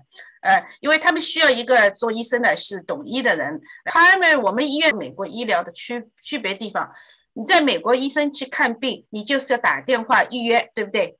然后你在中国就是说我早上去排队，今天我挂得上号，或者挂专家或者什么什么科你自己去挂号。但是美国人是要打电话给医生的，那私人医生呢，你自己打电话呢，你约后面呢是非常的不方便。然后呢，就是说私人医生呢，或者一个人 take message，或者你约到很远很远的时间，那没有 coverage。但我们医院呢是比较大的 HMO，呃，这是是美国第一、第二大的。所以呢，就是说我们在以前呢也是病人打电话呢，是每个 medical center 呢，它有自己的小小的 call center。那结果发现呢，今天比如说我今天想到这个医院看病，明天想到其他的。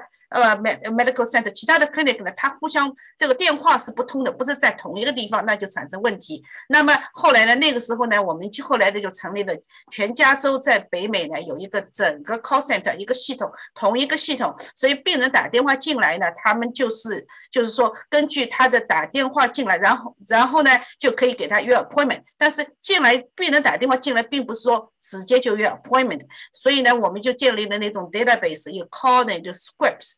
那个有 script and protocol，然后呢，把病人呢进来的以后呢，你会打电话以后呢，他就看你是哪一个科的病人，他成人成人的还是小孩的。对不对？就是按照年龄可以分开，或者呢，你是妇产科的女性病，那是另外一种。那其他的就是说成人科的就放在一起。然后呢，这个病你他就会，我们就会设置有很多的医生，我们在一起讨论。然后呢，有很多的 scripts，那就是说这些人问你的问题，接电话的人呢，他就会根据你说的那些话来决定，就是说他有一个 tree 一样的，这个是问你的 yes no yes no yes no 这样。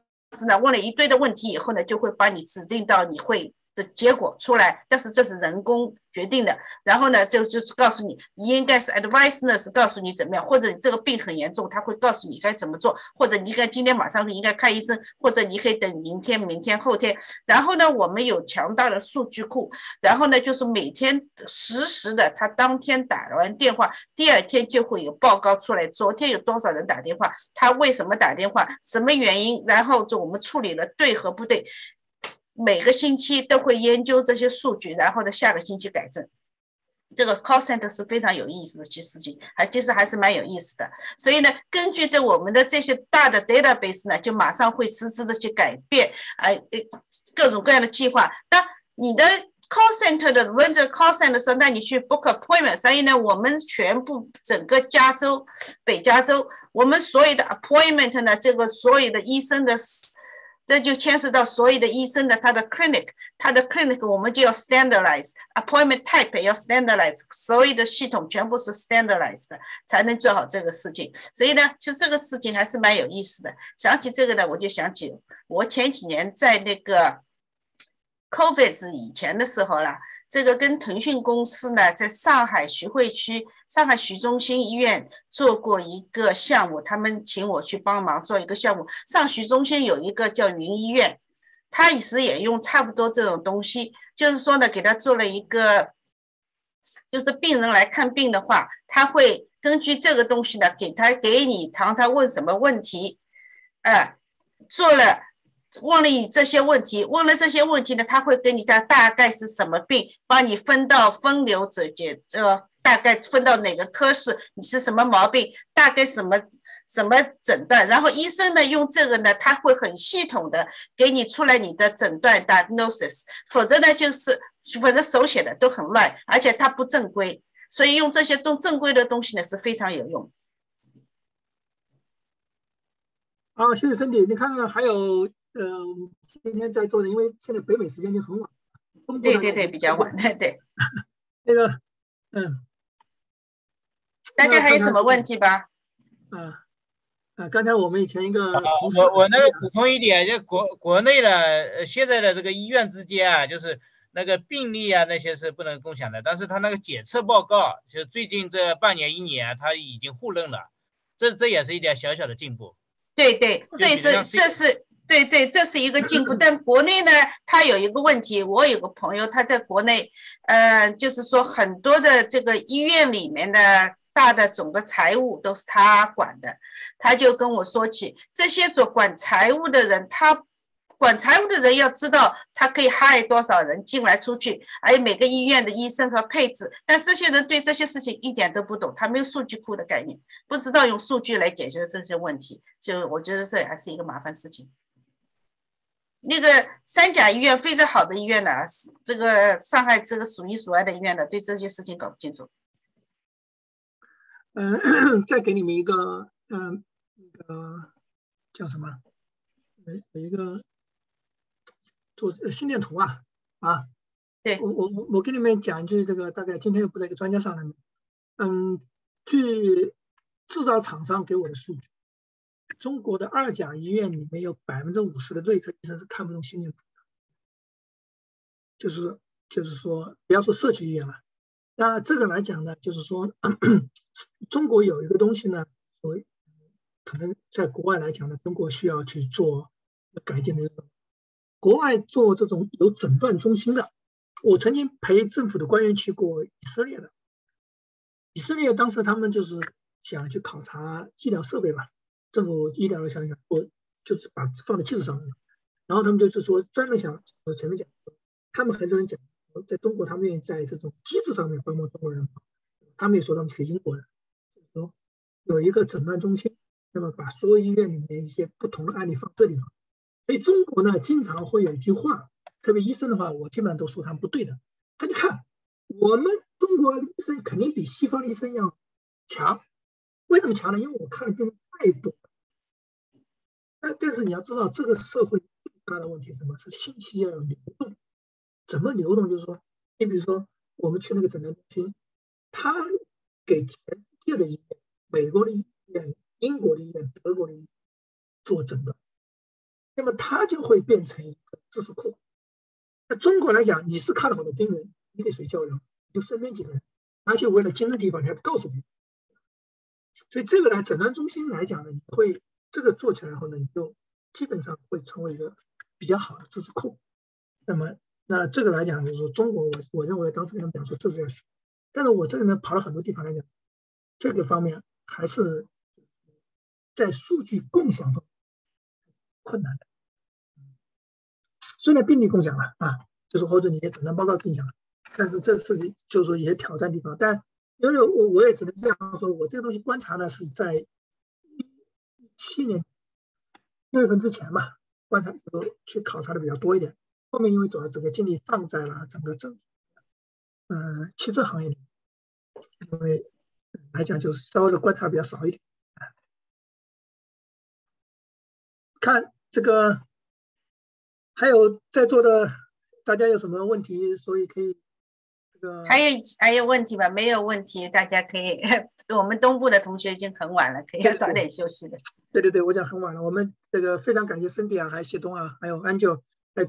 芦荟这样，我们今天进行交流，对对对对，嗯，对，我觉得今天的交流非非常好，学到很多的知识，学到很多的知识。就其实我还是呃，有机会我可以跟大家讲讲这个美国的这个数据我们怎么用，我可以跟你讲很多的实例，蛮有意思的，其实蛮有意思的。那我们找时间，我们找时间，我们再再找次分享好了。对对，下次给你们找个时间，我跟你讲讲，在美国这个医院管理这些数据怎么使用，呃，怎么弄的，非常有意思的。嗯，对，对对对，好的好的，那就我们今天就这样，还有什么？这个对医护人员啊，对，谢谢啊，那我们就嗯下次再聊，好，谢谢，啊，再见，拜拜拜拜，谢谢，拜拜拜拜拜拜，谢谢谢谢。谢谢，拜拜。对。